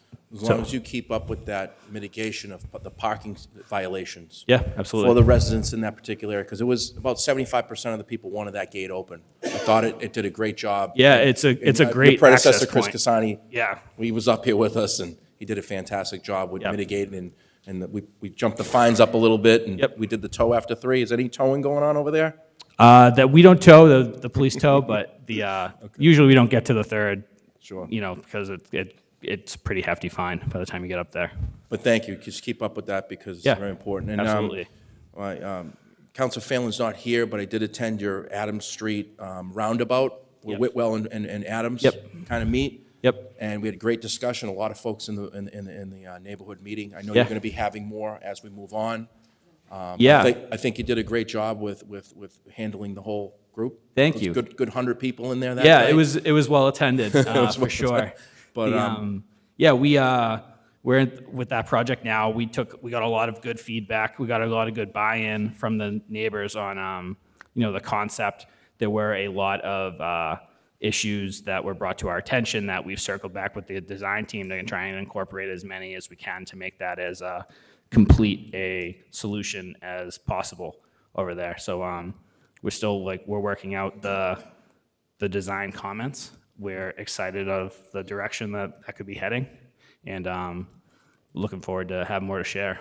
I've, I've fielded a lot of emails and a lot of calls in that particular area over the years, and obviously, we talked offline about when the development up on the Hospital Hill, and we've gotten to the point, so we really need to help out those residents, because they've been really waiting patiently. Yeah, Um, totally agree. As the conversation moved on, a lot of people saying, you know, I think this is the best solution, this, and in uh, the roundabout, you know, it's, it's, it's- you- you've said you've put studies that it's been done in other areas of the yeah. state. Yeah, yeah. I mean, it's it's been very successful. Um, it's a a solution that a lot of cities, towns, DOTs are moving towards um, to sort of cut out the new like standard like traffic signal with like three mast arms and like big ugly equipment and lights and electricity and maintenance and there's a lot of benefits to the roundabout um, from a traffic calming standpoint from a pedestrian access standpoint just from a, an aesthetic standpoint that we're uh, really hoping to move I mean, forward Some of the biggest issues is coming down Whitwell. You're, you're, you're, you're increasing in speed. Yep. And then as you take that right-hand turn, you're going down Adams and you're ascending in speed. So Right.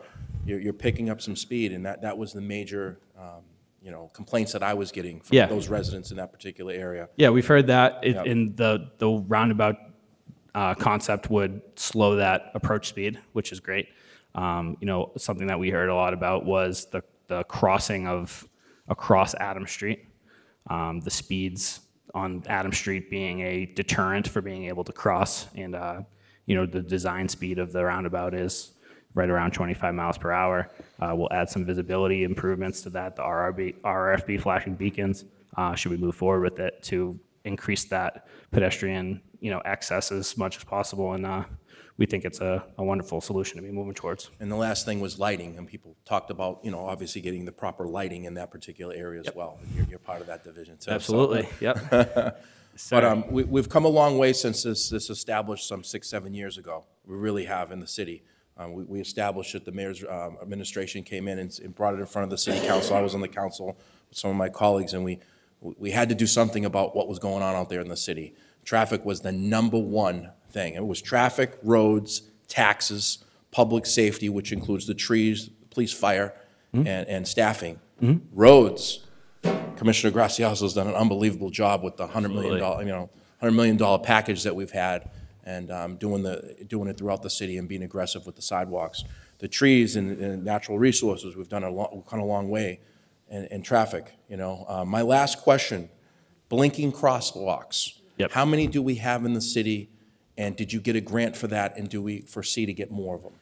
The RRFB crossings, those, the yellow flashing lights? Yes, yes, those are beautiful. We have, I can tell you how many we have. Because I wrote it down somewhere. We've installed 27 systems. Uh, Many of those have been grant funded. We just received a grant from the DOT for another $50,000 worth of them, which will fund five. Just the equipment will have to cover equip, uh, installation costs. Okay. And then, you know, this is a solution that this is one of those things that when we are working with developers that are coming in and how do we mitigate some of these issues, these are one of the items that, that we're pushing for is, you know, increased visibility treatments for pedestrians and the RRFB is a wonderful, especially the solar ones, um, just a wonderful solution. So there will certainly be more coming. Um, we have more planned, we have more coming in. This is one of those items that we're just kind of churning away um, as we get grants, as even like departmental uh, operations funds, it's a worthy investment to, to do them, so. when it first came over here from the school committee, that was my biggest item I'd talk about. We got to get in front of the schools, the crosswalks and the lighting and, and, and, you know, more and more of the crosswalks, you know? And then the other biggest issue was around the senior housings. Yep. And I think you guys have done a great job. I'm looking forward to the more. So with 27, we got five more coming? We have, yeah, we have 27 that are installed, 27 systems. Systems. Um, we have five more that we just got the NTP for the grant to order.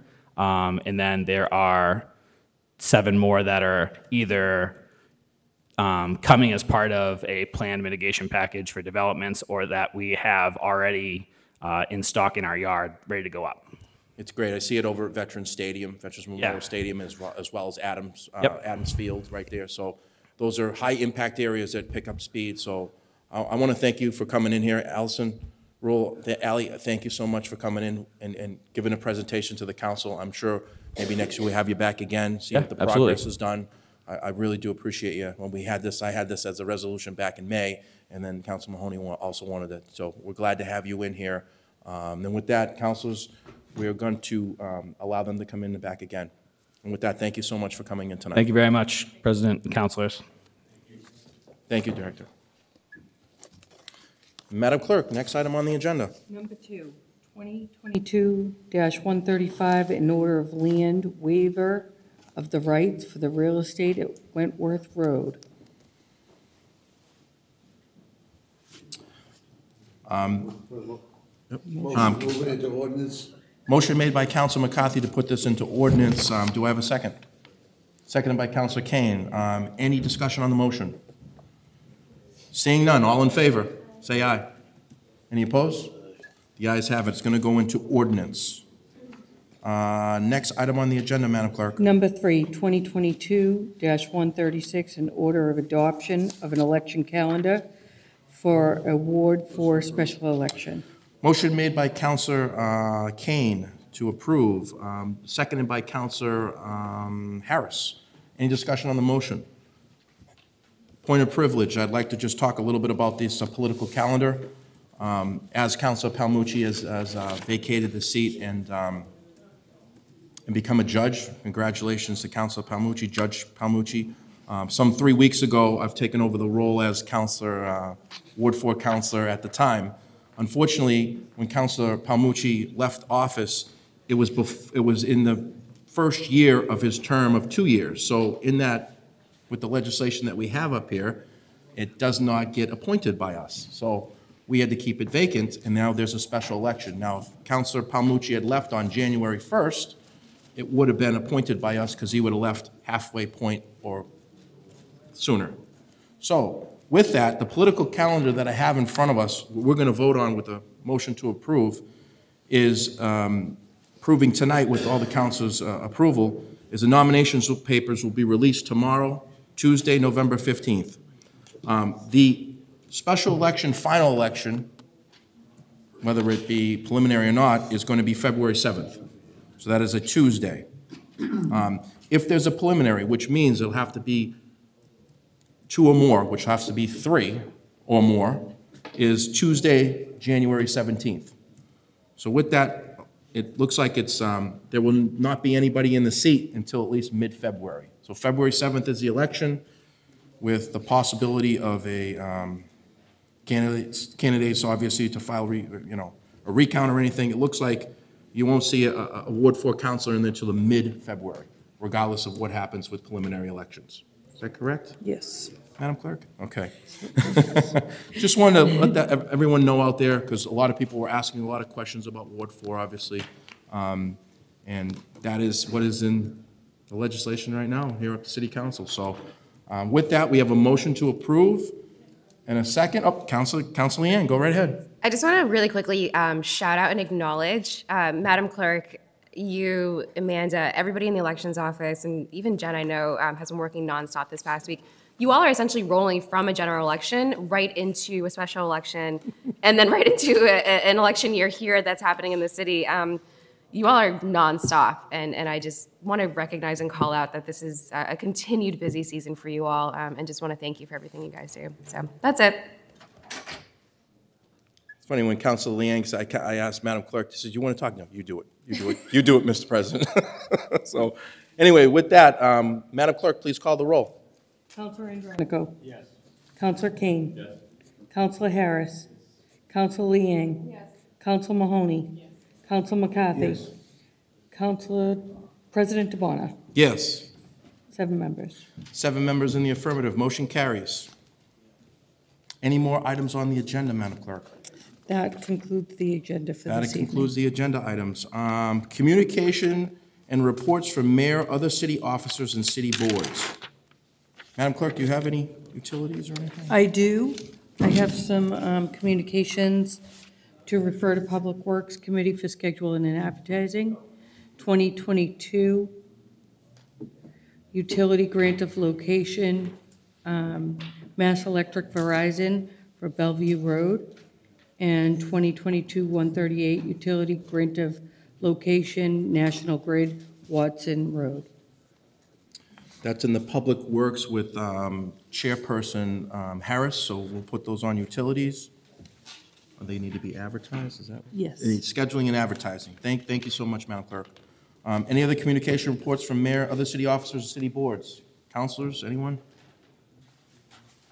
Unfinished business and proceeding meeting. Reports of committees. Counselor Harris, you have the floor, Public Works Committee Chair. Okay, um, during, um, public hearings were held this evening um, for the following orders, 2022-130 utility grant locations, Mass, um, National Grid, 44 Prospect Hill, positive recommendation from the Public Works Committee. Motion to approve. Motion to approve um, by Counselor Harris. Do I have a second? Second by Counselor McCarthy. Any discussion? Seeing none, Madam Clerk, please call the roll. Counselor Andronico. Yes. Counselor Cain. Yes. Counselor Harris. Yes. Counselor Liang. Yes. Counselor Mahoney. Counselor McCarthy. Yes. President DiBona. Yes. Seven members. Seven in the affirmative, motion carries. Very good. Um, 2022 uh, um, dash 133 utility grant location, Mass Electric, 33 Newport Ave, positive recommendation from the Public Works Committee. Motion to approve. Motion to approve made by Council Harris. Do I have a second? Second by Council McCarthy. Any discussion on the motion? Seeing none, Madam Clerk, please call the roll. Counselor Andronico. Yes. Counselor Cain. Yes. Counselor Harris. Yes. Counselor Liang. Yes. Counselor Mahoney. Counselor McCarthy. Yes. President DiBona. Yes. Seven members. Seven in the affirmative, motion carries. 2022-134 utility grant location, Mass Electric, 33 Newport Ave, positive recommendation from the Public Works Committee. Motion to approve. Motion to approve made by Council Harris, seconded by Council McCarthy. Any discussion on this motion? Seeing none, Madam Clerk, will please call the roll. Counselor Andronico. Yes. Counselor Cain. Counselor Harris. Yes. Counselor Liang. Counselor Mahoney. Counselor McCarthy. Yes. President DiBona. Yes. Seven members. Seven members of the affirmative, motion carries. That's it. That's it. Just a little point of privilege, I really miss Counselor Palmucci, used to, a couple no's in there, so just, just anything in his ward. Miss him. Kind of laughing over there right now. Presentation of petitions, memorials, and remonstrance.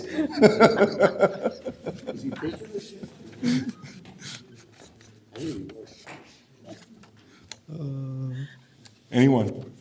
Presentation of pe- petitions, memorials, and remonstrance?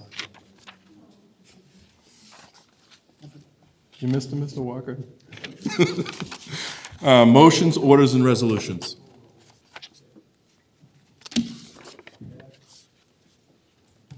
Before we get into scheduling committee meetings and public hearings, I just, I know that Council Palmucci has, has left, obviously, and we, we didn't have really a, a going away uh, up here at the city council, so at this time, I kind of, you know, I, I, the, the whole time I've been up here, he was before all of us had been on the city council, I'd looked over at Council Palmucci throughout our time, and um, it's almost like a soap opera up here. It's almost like high school all over again. And Council Palmucci and I, we'd go through a little period of time, and I know other councils have gone through this, that every once in a while you get in a little riff with each other. You're not talking to each other for like two months, and then you're best friends for like another three months, and then there's a vote up here, you kind of, eh, I don't like that vote, you know? So I know what goes on here still today, but I've been on the council almost eight years now, and I've served the whole time with Council Palmucci, and boy, he was entertaining, I can tell you that much. Um, But um, I wish him well, and I know he's doing well at being a judge, so um, that's a little point of privilege. Scheduling of committee meetings and public hearings. Do we have anybody, real quick? The little book, a little beautiful book that Rhodey was looking for? Anyways, before we, um, Council um, uh, Chair of the um, Finance Committee, uh, Council um, Phelan is not here tonight, but we will be having a Monday, November 21st, at 6:30, we'll have the Finance Committee meeting. It's the uh, Public Safety Headquarters um, will be on the agenda. And then we will go with our City Council meeting at 7:30. Uh, We also have two more meetings in December.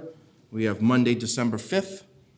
Um, It looks like I have on here the public hearing for the tax rate at 6:30, and the city council meeting at 6:50. And then our last meeting of the year will be Monday, December 19th, which is 6:30. So three more meetings to go um, until the new year. Time flies. It's getting cold out there, by the way, too.